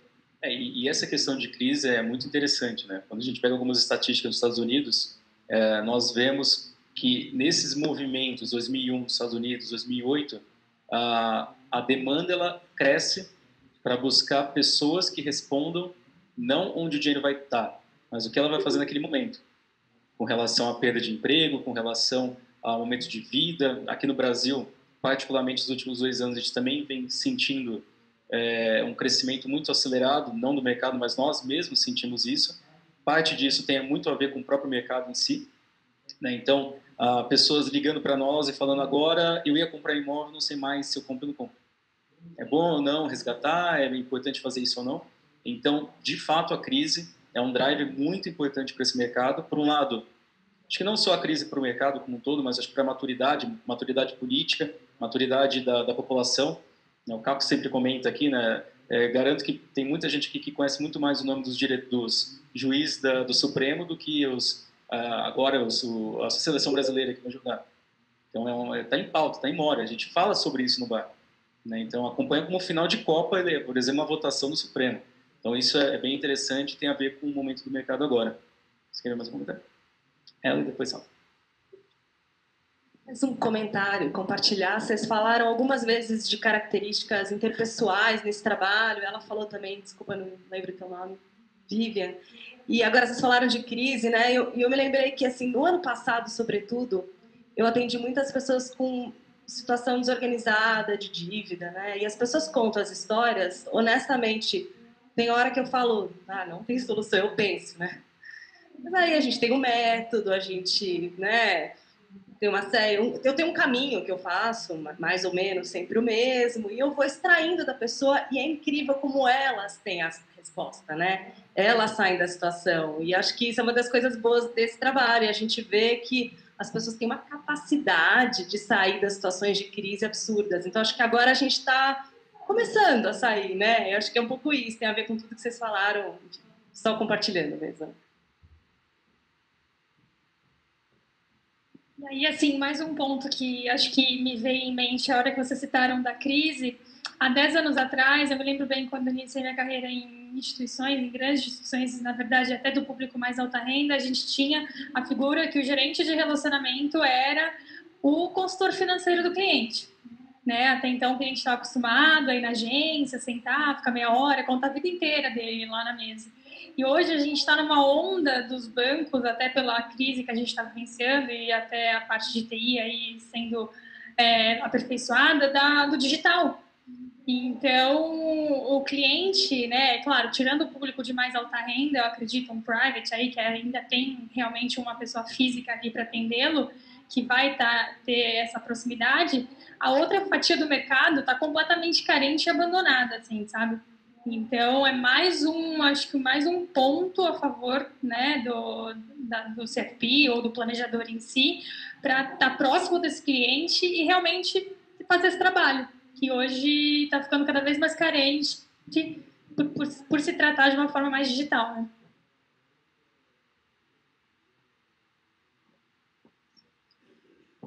Como? Claro. É, é questão digital, acho que é essencial hoje e eu que sou mais senhorinho aqui, mas mais jurássico, porque eu, não nasci com computador no, leito, então não, eu, eu, eu, vejo meu filho jogando lá, ele vai junto com o movimento, eu sempre morro, né, porque eu não sei fazer essas coisas, mas estou aprendendo também um pouco. Então, isso muda muito a forma, forma de relacionar, e não é só a molecada de 18 ou 20 anos, são vocês aí de 20 e 30 anos que já nasceram com isso no berço. Para vocês isso é muito natural, quando você fala em banco digital, fala um, uma foto lá, manda para o banco, abre a conta, isso para mim é tudo inimaginável, de certa forma. Claro que eu estou tentando aprender também. Mas isso muda muito o relacionamento. Agora, tem duas coisas que, que me vieram à mente isso. As pessoas crescem e amadurecem. O lado humano delas também existe. E mais cedo ou mais tarde, mais tarde, quando tiver uma crise, elas precisam de alguém para segurar a mão e para chorar no ombro. E nessa hora, a tecnologia não resolve. Bom, se você gosta de chorar no do computador, tudo bem, my guest. Né? Mas é, então, é, com certeza, nessa hora, volta ao lado humano e talvez você tenha que esperar procurar o público. Se você é mais jovem, vai para um lado ou vai para o outro. Tá vendo? Um, ainda em tecnologia, também, é, é, eu acho que a gente tem que fazer ela trabalhar a nosso favor, porque tem muita coisa que a gente não precisa ficar fazendo, muito trabalho repetitivo, que antigamente a gente pegava a planilha, ficava anotando todos os números, depois fazia, fazia soma com a calculadora, não sei lá. Cara, eu sei que não era do seu tempo, mas é, isso... é, isso aí, né? Então, isso a gente não precisa mais gastar tempo com isso. A gente pode dedicar tempo a, a, a ler sobre finanças comportamentais, a fazer coisas e aprender outros aspectos que hoje a máquina não pode fazer. Só em respeito ao horário, né, que a gente colocou o pessoal da internet, vocês podem ficar aqui à vontade, de fato, a coxinha não é de enfeite, não é de cera. Então a gente já preparou aqui justamente para. Então, o Capo já está experimentando tudo. Então a gente pode ficar mais tempo aqui fazendo perguntas, mas só para a gente já é, ir para os finalmente por causa do pessoal da internet. Uma última pergunta aqui, né, já complementando a última que eu fiz. Ficou bem claro, pra, é, pelo que vocês comentaram aqui, que acelerou mais do que vocês imaginavam com relação ao mercado, foi mais rápido, né? A gente está falando de velocidade, mas vocês falaram que há dois anos atrás, talvez a gente bateu as metas e, e, acabou superando. Uh, e como a gente vai abrir esse vídeo, que vai estar gravado daqui a dois anos, a gente vai escutar o que vocês falaram hoje. Então, ou seja, é, não querendo provocar, mas já provocando, eu gostaria que vocês colocassem aqui, sintetizar rapidamente o que vocês imaginam, como vocês imaginam é, o, o mercado de planejamento financeiro independente daqui a dois anos. Daqui em 2020, o que, que a gente vai olhar no mercado de oferta, enfim. Bom, nós vamos falar juntos aqui para ninguém pisar na bola. Achei que dizia querer cantar aqui alguma coisa. Aí vai todo mundo embora, só come nos dedos. É... Poxa, é, é sempre difícil futurologia, né? E, e, e, a gente não sabe, como a gente nem não sabe, nem é, tipo, por um defeito de fabricação, todos nós um dia morremos, então né, tudo vai embora. necessário é que você planeje. Né? Então, eu acho que isso está ficando cada vez mais claro e, e, eu acredito que nós vamos ter uma, uma planejar mais atuante, mais abraçando mais uh, os profissionais. Eu acredito que a profissão, eh, eventualmente, nós estamos fazendo um trabalho grande para que seja que o, que o planejamento financeiro seja entendido como profissão. Então, quem sabe daqui a dois anos a gente tenha conseguido isso. Acho que é dificílimo, mas não impossível.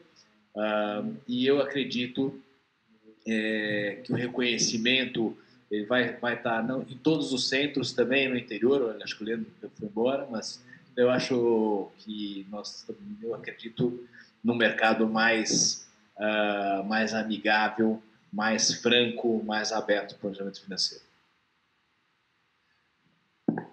Daqui a dois anos, dia 24 de maio de 2020, nós vamos ter 4.527 CFPs no Brasil. Muito mais. Não, isso, é, isso é daqui a dois anos não tem isso. Eu te garanto, ali na minha bola de cristal antes. Brincadeira. 527. Não, vai ter mais de 6 mil. Pronto. Quem ainda mais?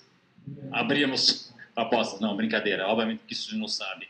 Mas eu, eu acho que é um, acho que é um approach diferente. Eu extrapolo um pouco os dois anos. É a previsão do o objetivo que a gente trabalha dentro do FPSP Board é 2020 ou 2025? Não, é 2025 é alcançar reconhecimento global como uma profissão.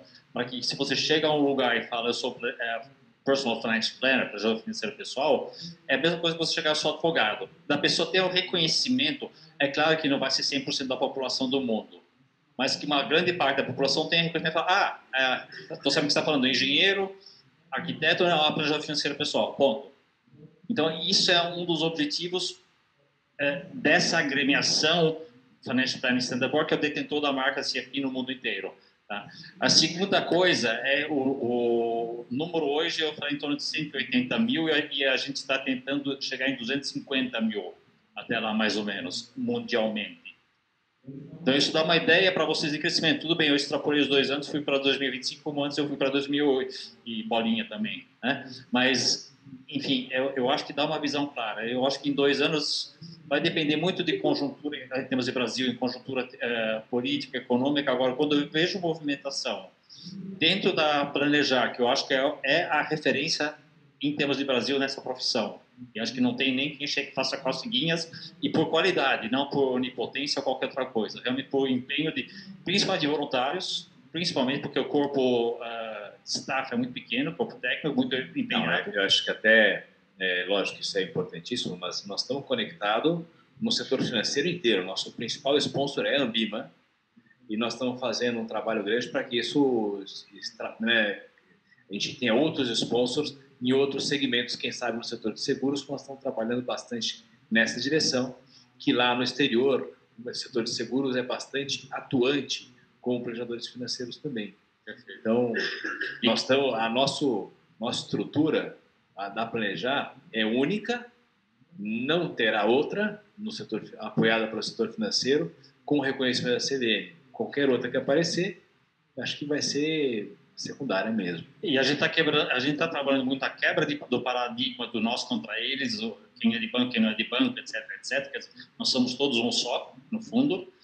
É, então, assim, muito positivo se é um ano e meio, se é dois anos, se é três anos, acho que cada um tem seu momento, cada um tem seu momento, ainda mais todos aqueles que ainda não estão atuando, atuando na área, tem seu tempo de amadurecimento, de aprendizado, que não é só fazer um curso aqui, um curso ali, como o Fábio disse, um dos grandes valores dessa marca, pelo menos, é a educação continuada, a cada dois anos nós temos que comprovar que fizemos alguma coisa de fato, e essa exigência está cada vez subindo mais, não só temos quantitativos como qualitativos, e, é, e, isso inclui tanto áreas técnicas como a ética e outras coisas. Então, é, eu acho que isso vai fazer toda a diferença e torna sustentável. Tanto aqui quem está familiarizado com o processo, que nós temos hoje uma taxa de aprovação nos exames em torno de 25%, mais ou menos, quer dizer, muito baixa. Uma grande parte das pessoas que tentam não conseguem passar nos seis módulos de cara, precisam treinar para isso. É difícil, é abrangente, né? É, agora, por isso que é de distinção. E a segunda coisa é essa educação continuada. E a terceira coisa, acho que essa comunidade que é pujante, que é fantástica, não só no Brasil, mas aqui também. Legal. Bom, eu queria reforçar até esse ponto da futurologia, né? Então, gosto de brincar nessa futurologia também, mas colocar acho que uma percepção nossa aqui do que que a gente enxerga esse movimento. Né? Então, a gente esteve nos Estados Unidos no ano passado e em Atlanta a gente conversou com um dos planejadores que, pass, é, que ele acabou passando, Lewis, passou na segunda prova do CFP no mundo, década de 70. Então ele era um piloto da Força Aérea, combateu no Vietnã, né? Então e o hobby dele era, por acaso, ensinar os colegas militares na área financeira. Então, vai guardando soldo, que você vai aposentar um dia, etc. E aí ele largou a carreira militar e virou planejador financeiro na década de 70. Com 40 anos. Ou seja, a idade dele hoje muito avançada ele e a equipe, a empresa dele já atende três gerações de famílias e muito muito legal o bate-papo, né? O Tobias que conectou, já conhecia ele, já são amigos e, e ele veio trazer um pouco do depoimento do que aconteceu nos Estados Unidos na década de 70 e curioso que ele comentando, ele contando a história ali do que ele viu e parece muito do que, eu tô, que a gente está vendo aqui. Então é um grupo de pessoas, 10, 20, 30, hoje são 200, 300 pessoas que só nesse fórum a gente é, reúne para discutir o tema, e foi um grupo de pessoas engajadas como essa que come começaram a fazer o movimento da carreira, da indústria do planejamento financeiro nos Estados Unidos, que hoje é uma, tem milhares, 800 mil profissionais, 80 mil certificados e por aí vai.